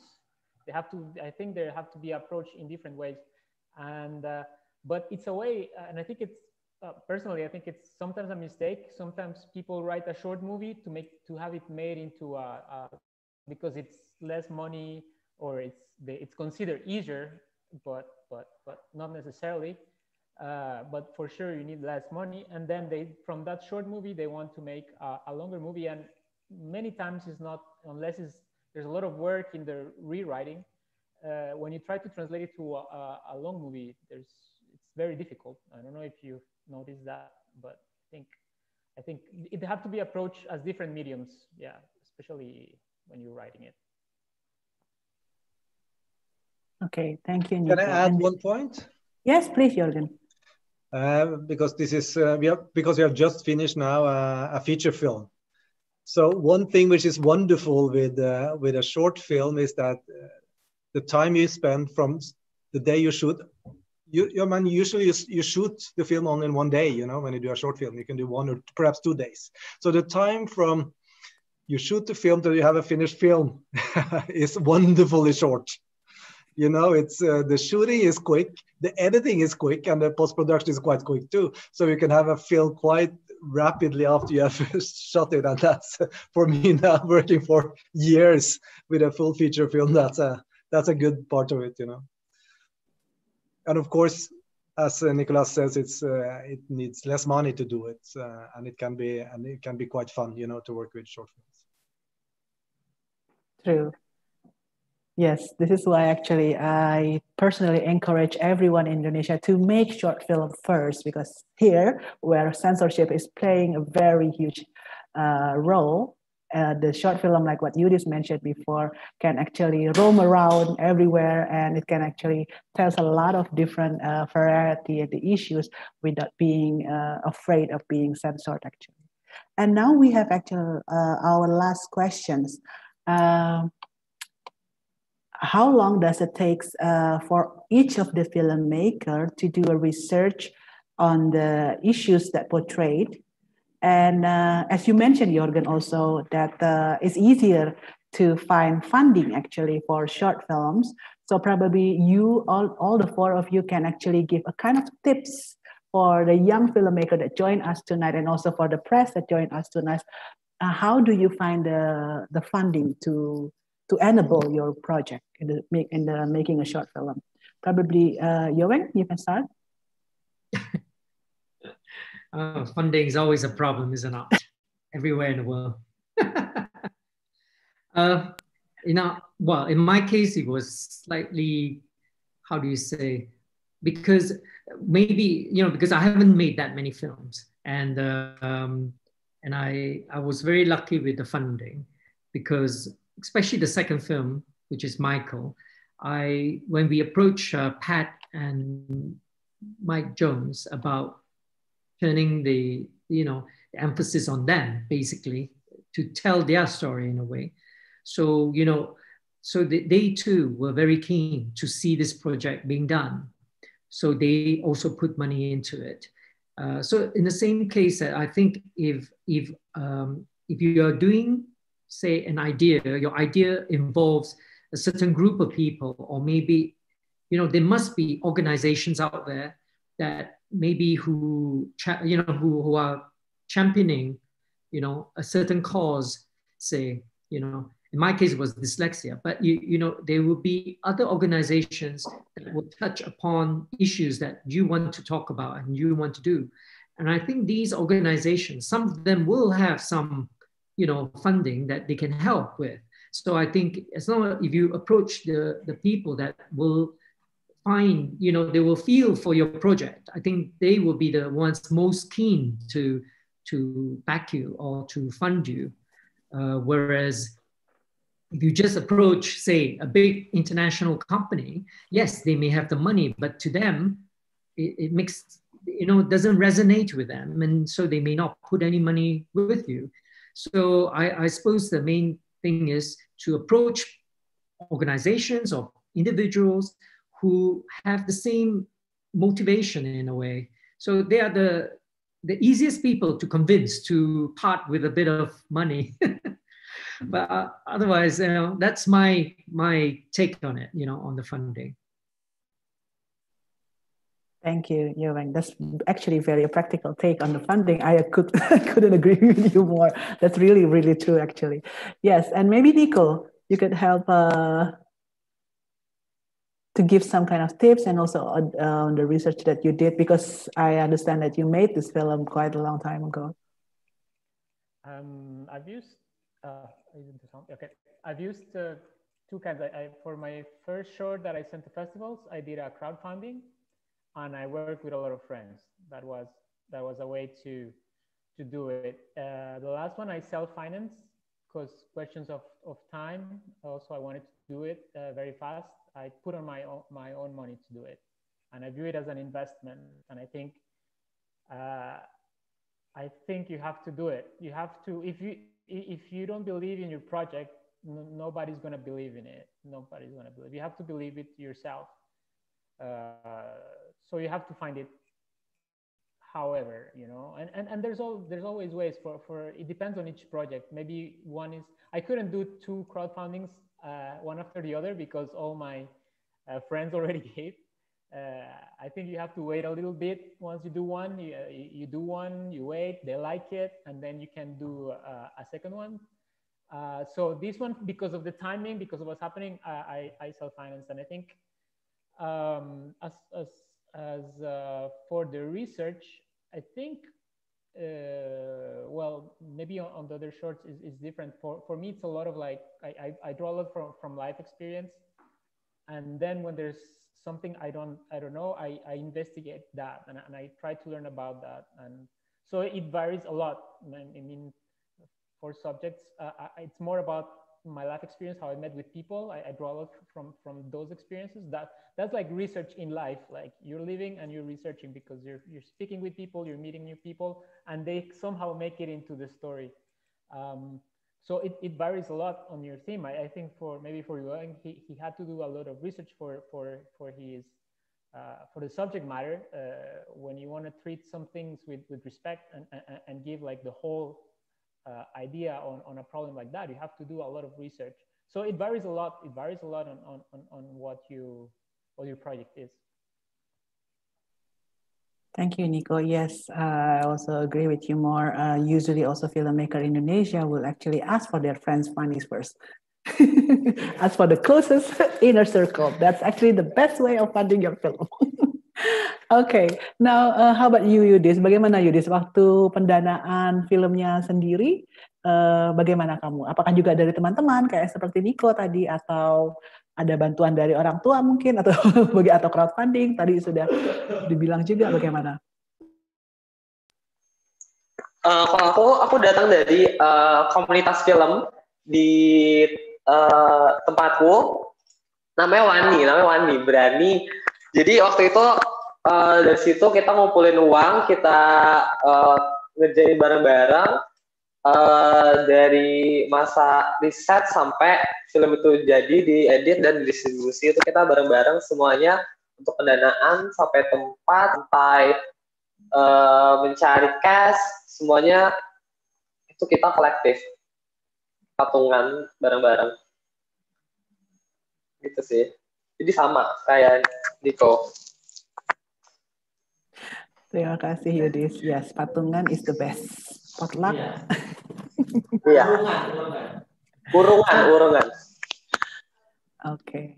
Thank you, Yudis. Uh, Jorgen, what about you? And also with the integral film that you, the company that you made. Uh, yes. Um, funding is a it's a it's a main international problem, of course, and and uh, if you are in film because you want to be rich, you have to find another job. um, that's for sure. Uh, filmmaking is a it's a it's a tough it's a tough business, and um, that's why young filmmakers have to start with making short films. Uh, basically, because it needs less money, and often you can see that uh, short films is made in um, as a solidarity work between people that are working in film together. You know, you have photographers, directors, group of people that working together because they want to create films. They want to create good films. They want to express themselves through films. And uh, and as Yuveng said, the first thing is of course if your film has a specific topic, you have to first go to the organizations or the people that are involved in that topic and uh, one way is just, of, of course, to ask them uh, to contribute with money. But another thing, you, another way of doing it, you can ask, for example, if there are several organizations that are working on this topic, you can ask them if they want to be a part of an advisory board or advisory group for the film. You know, you can involve them in the filmmaking in a way. And then they have a position there, then they can have their name there, and then uh, it can also perhaps be easier to to ask them to to donate some uh, some uh, sponsor the film too. So this is the first uh, first uh, first way I think, and then the second is of course some uh, countries they have national or regional film institutes that are giving away some money to people that want to make film. And uh, the, here we have the National Film Institute, and they will not really support young filmmakers if they don't have a track record. And the only way to build a track record is through short films. So they have to prove themselves as, uh, as good filmmakers through making short film with less money. And, uh, and then uh, a friend of mine here, a colleague, a young colleague, he made a wonderful little film, 10 minutes. And it has been now screened in different festivals. And then now recently, only a couple of months ago, he got the phone from uh, Hollywood. I've seen your short film. It's a wonderful story. Can you make it into a feature film? You know, so this can happen, you know, if you work hard enough and uh, you are persistent on uh, on the, the quality on in all on all levels. You know you have to be re, it has to be good sound the correct music. It has to be good filmot, uh, filmography you know and then you can really um, then people will uh, discover it and see it. Thank you. yes i yes i agree with you. If you make something with all of your heart and also all, give all of your effort i think that will definitely shows into the work that you did. And sorry, and yes, um, we have other questions, but I think this has been answered uh, also from uh, Yudis, the genre comedy, it has been answered by Yudis, and also uh, the sensitive issues uh, to all of the panelists, we have answered that too. And I think, uh, I, oh yeah, one last question I hope this is very last, guys, please. this is like one last questions. to every filmmaker in the panel who wishes to share, what kind of film that you have been wanting to make but have not got the chance to do? Maybe uh, we can start with Nico. Uh, yes. So right now, um, I'm actually doing it. I'm writing it since the pandemic has stopped some of my projects, I had a, I've been writing a, a, a long a longer film. Uh, that's that's what I've been wanting to do, and the subject is immigration, and I'm, I'm writing on it, and, and I'm very happy because uh, it's a theme that that is really well. I, am an immigrant. I've been an immigrant. I've been uh, somebody that comes back to this country. I'm somebody that uh, that uh, that's been in many different places. And, and, and i want to draw from that to tell the story from from a personal point of view of, of immigration. Um, so it will be a little difficult. It will be uh, two countries but i think you have to first dream whatever you dream and then you, you, you the problems you'll solve them later. You, you don't limit yourself because you think oh no this idea. Well, maybe you'll write it uh, it will be too difficult to do, but there's other ideas that don't limit your ideas. That's, that's, that's kind of like, I'm not limiting myself at this moment to, to do it. So hopefully, uh, I, and, and I intend to do it. And I think you have, you have to believe like that way for other filmmakers. Believe that your idea, you have to believe you're gonna make it. Don't sometimes you're like, oh yeah, it's so difficult. I'll just write it. But I, if, if somebody likes it, I'll do it. No, if somebody likes doesn't like it, you go to the next person, to the next person, and if there's no one, uh, you do it. So that's how I, am approaching writing this. I mean, I'm gonna two things. I'm, I'm gonna write what I wanna, what what I, what I see, what I have in my mind, and second, I will do it in any in, in any way of like eh, eh, by any means necessary. And I think that's how independent filmmakers should approach every idea. Mm. Thank you, Nico. That's very inspiring, actually. And also now, uh, Jorgen, I since you just also finished uh, your recent feature film, maybe yeah, is there yeah, anything yeah. else that you want to portray? Uh, I think uh, Nicholas put it uh, in, a, in a good way. This pandemic period has perhaps made it possible for us to sit down, do nothing for a while, and then we can think about what we what we want to do and what we can dream about doing uh, when we hopefully can get out in the world again. Uh, but you know, there are so many stories out there this is the most important thing. You know, we are basically a, a, a company that is making documentary films. So the two films we are finishing now and launching next year, they're both documentaries. And um, when you start looking around you, there are so many beautiful stories, uh, strong stories, uh, tough stories to tell. We have a world that is uh, growing problems with uh, suppression, dictatorships, authoritarian regimes, you know, and, and uh, so many inequality is growing all over the world. So there are so many good topics to be told. And um, also, if you are, on the creative side and you want to do a fiction film, it's just to believe in yourself and uh, and uh, and follow your ideas and your your and if you're a filmmaker, you have to be a creative person, and then you just have to go for it, you know, and totally believe in your. Uh, and if you have problems with writing them, write them together with other people, you know, work in team. Don't be alone with your ideas. Work in team. That is also a good good way of doing it and developing things and sharpening it sharpening your ideas you know. Thank you. Thank you Jorgen. and Yudis ada film yang ingin dibuatkah? Yang belum kesampaian sampai saat sekarang? Masih di mute Yudis. Oke. okay.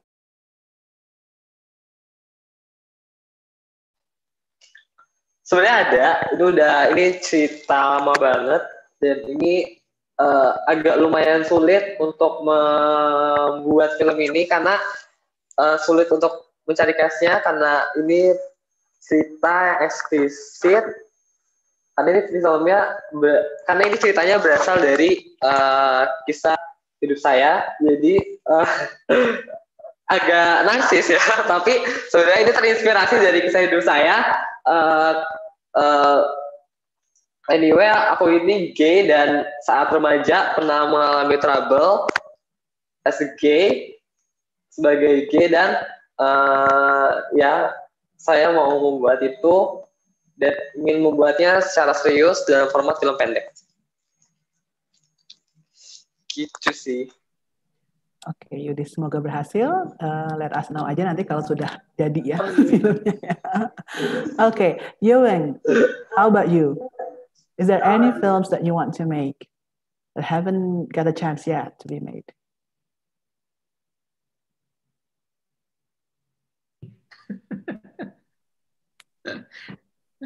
Sorry, I just I think there was a bit of a lapse there, with a bit of ah, time.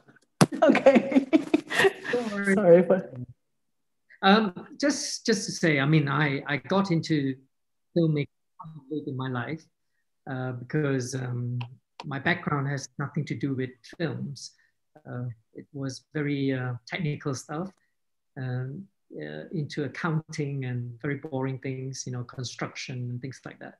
So getting into film was was something I wanted to do when I was young but never did. So this was a, a great, you know, personal kind of, you know, joy to be able to be involved with these films that I've done. I mean, I've only done two, but they've both given me a lot of pleasure, uh, a lot that I've learned because, you know, it's easy to say, oh, I want to do a film, but the learning process, you know, that you get is, is incredible. I mean, you know, the first film, uh, Secret Child that I did, was, you know, so intense.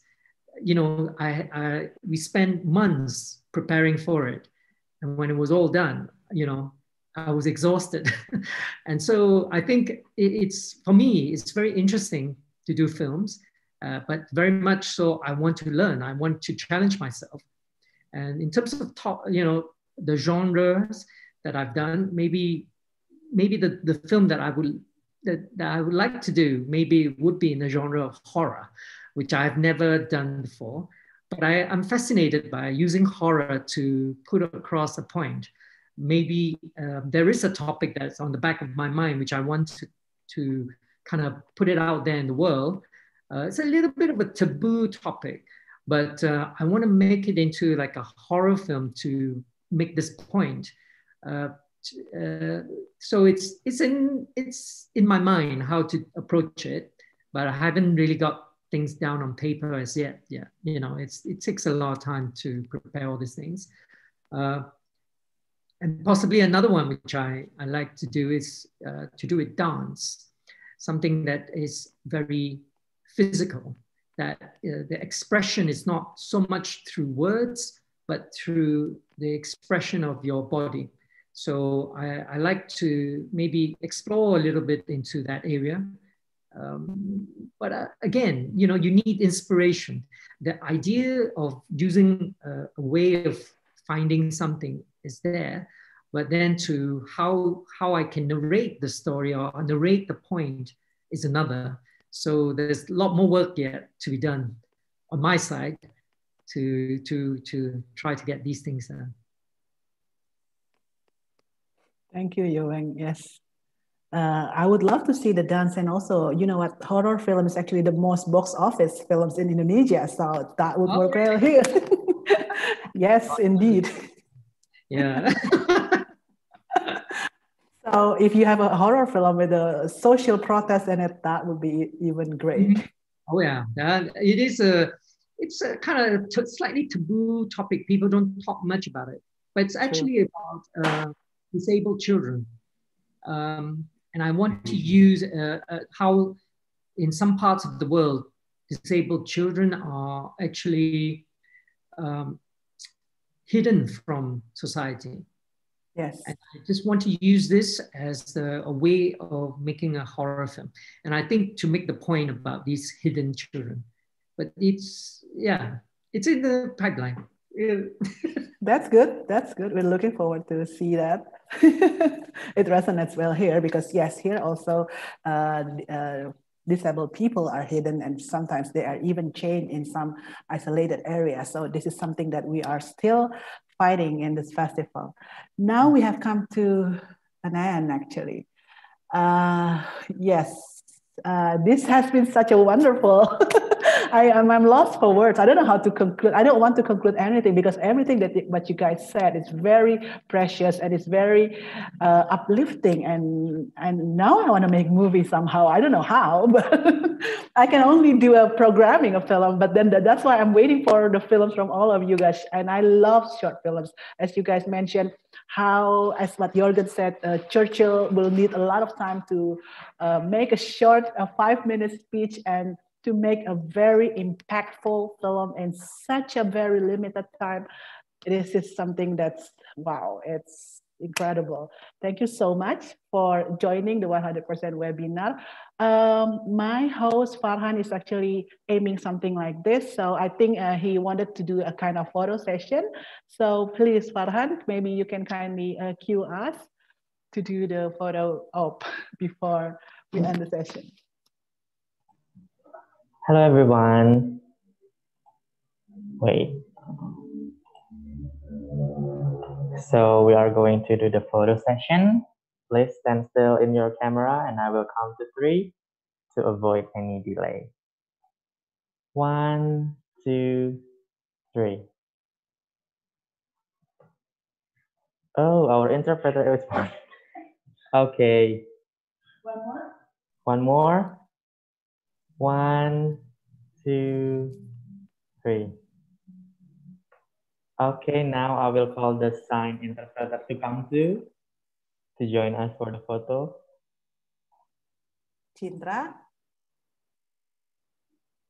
and Mbak Esti. Okay. Okay. One, two, three. Okay, thank you guys. Thank you so much, guys. This has been such a wonderful evening. and thank you for spending the Friday night and Friday uh, afternoon for Jorgen and Yoeng uh, with us in 100%. Uh, webinar in 100% Manusia Film Festival. For all of our audience, uh, please note that the film, the Screen Shorts film, all the selected five films are still available until the next five days, until the 9th of December.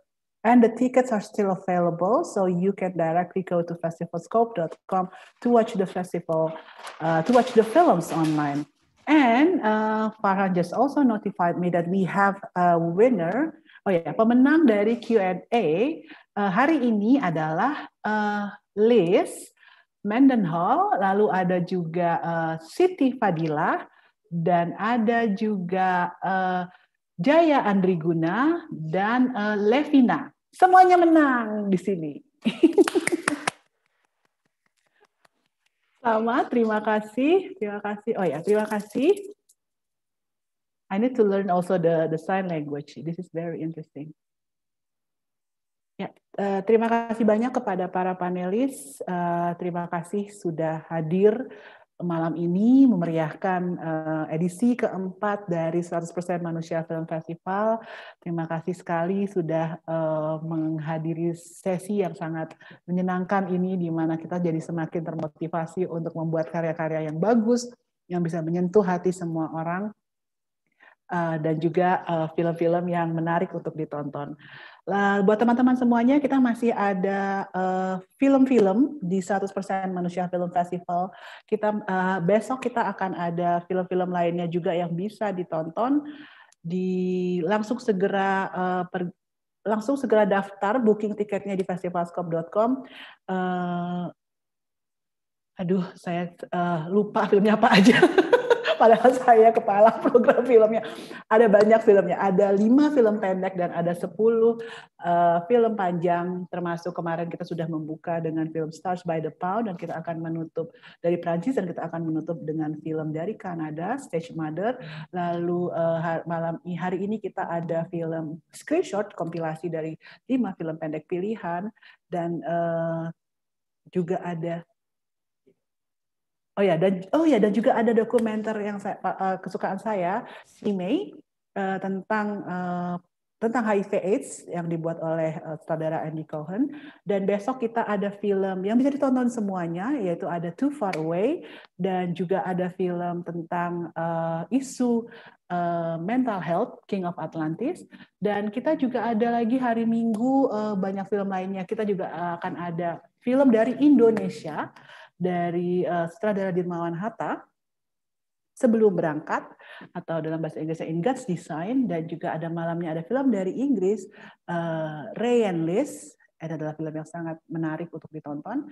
Uh, lalu hari Senin kita ada film apa lagi Farhan? Saya harus tanya dulu. Masih banyak film lainnya, silakan langsung pergi ke festivalscope.com atau langsung ke website kami di www.100persenmanusia.com di situ ada uh, seluruh film-film yang bisa ditonton line up-nya untuk festival kita kali ini. Sementara besok kita masih ada acara fringe event lainnya. Besok kita ada 100% exhibition Leka Putra Through the Window. Uh, di uh, acara ini kita bisa melihat karya dari uh, artis Leka Putra yang juga membuat key visual dari festival kita uh, tahun ini. Ini dia festival karyanya Leka Putra dan kali ini dia berusaha mengcapture atau menangkap bagaimana ekspresi orang-orang ketika berada di dalam rumah uh, dalam tanda kurung uh, dalam tanda kutip terkungkung dan bagaimana dia melihat kehidupan di luar sana dari balik jendela. Lalu malamnya kita juga bisa ngobrol bareng di 100% nyinyir tentang life censorship. Seperti apa sih uh, kehidupan yang disensor, terutama uh, budaya censorship sangat kental diimplikasikan uh, oleh negara kita, tidak hanya dalam hal sensor di film atau di karya seni, tapi juga disensor dalam kehidupan sehari-hari. Jadi besok ada acara itu, lalu hari Minggu juga kita masih ada acara 100% uh, all you can read indie publisher di mana kita akan membahas buku-buku yang uh, bersama Mas Roni dari Margin Kiri dan juga uh, host penulis cerita anak Rizal Iwan.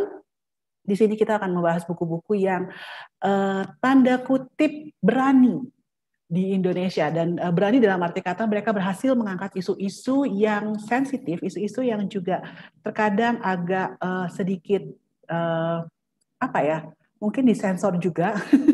Tapi di sini kita ingin mengangkat juga bahwa keberanian dalam berkarya tidak hanya uh, melulu lewat film, tapi bisa juga lewat buku.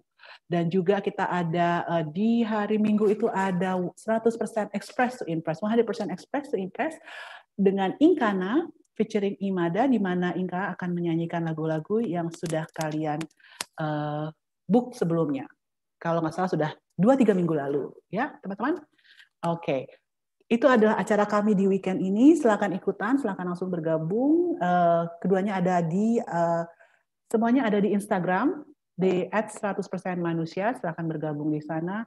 Terima kasih banyak buat pendukung setia kami, Movies That Matter, European Union, British Council, Cinemax, Cineverse, InfoScreen, Kincir, Magdalene, Mokino, Display, stickynote.com. Bentar. Saya takut salah, jadi mendingan saya buka juga aja daftarnya daripada saya takut salah sebut. Oke, okay. Canadian embassies in Europa, Erasmus Huis, the French embassy, the Netherlands embassy, the Swedish embassy, Institut Français Indonesia, uh, Kekini Ruang Bersama, uh, Kemala Home uh, Living, Klinik Angsa Merah, Amnesty International, Arus Pelangi, Kontras, LBH Jakarta, LBHM, FKWI, Margin Kiri, Selatan Cafe, Texture, Integral Pictures, Amapil, dan Tumbuh Sinema Rakyat. Terima kasih atas uh, semua dukungannya selama ini, sudah mau mendukung 100% Manusia Film Festival, dan uh, tadi saya juga sudah uh, mengumumkan pemenangnya, nanti akan dihubungi oleh uh, tim admin kami, Terima kasih atas kehadirannya. Saya Melina Putri Wismurti undur diri. Enjoy the festival and let us know your thoughts, your feedbacks in our all of our social media accounts. And yes, stay safe, stay sane, wear your mask on. Bye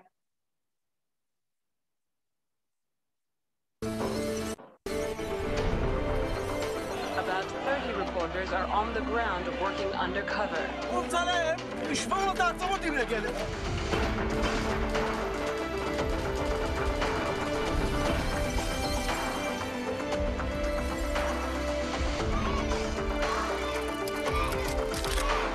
Il fallait aussi que j'apprenne à faire couler mes larmes dans ma tête. Oh.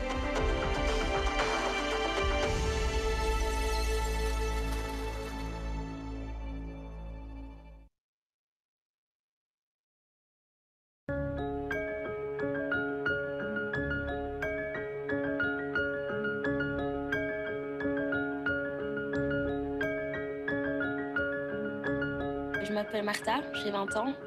Euh, je viens de Belgique euh, et je suis actrice. What is your dream film project? My dream is to work in as many countries as possible, in as many languages as possible. I'm writing on it. One that I would make? Working in Spain with uh, Ken Loach doing Land and Freedom was possibly my dream film project. My dream is to be in a Star Wars film. To play in a movie where I'm like a female Joker or something like very dark. Maybe I, I want to play a woman one day. That would be beautiful. To have opportunity to do this job, that's all.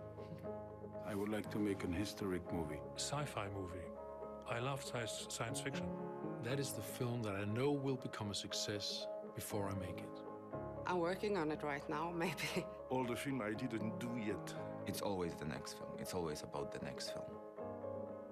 We all love stories. We all love stories. We all love stories. We all love stories.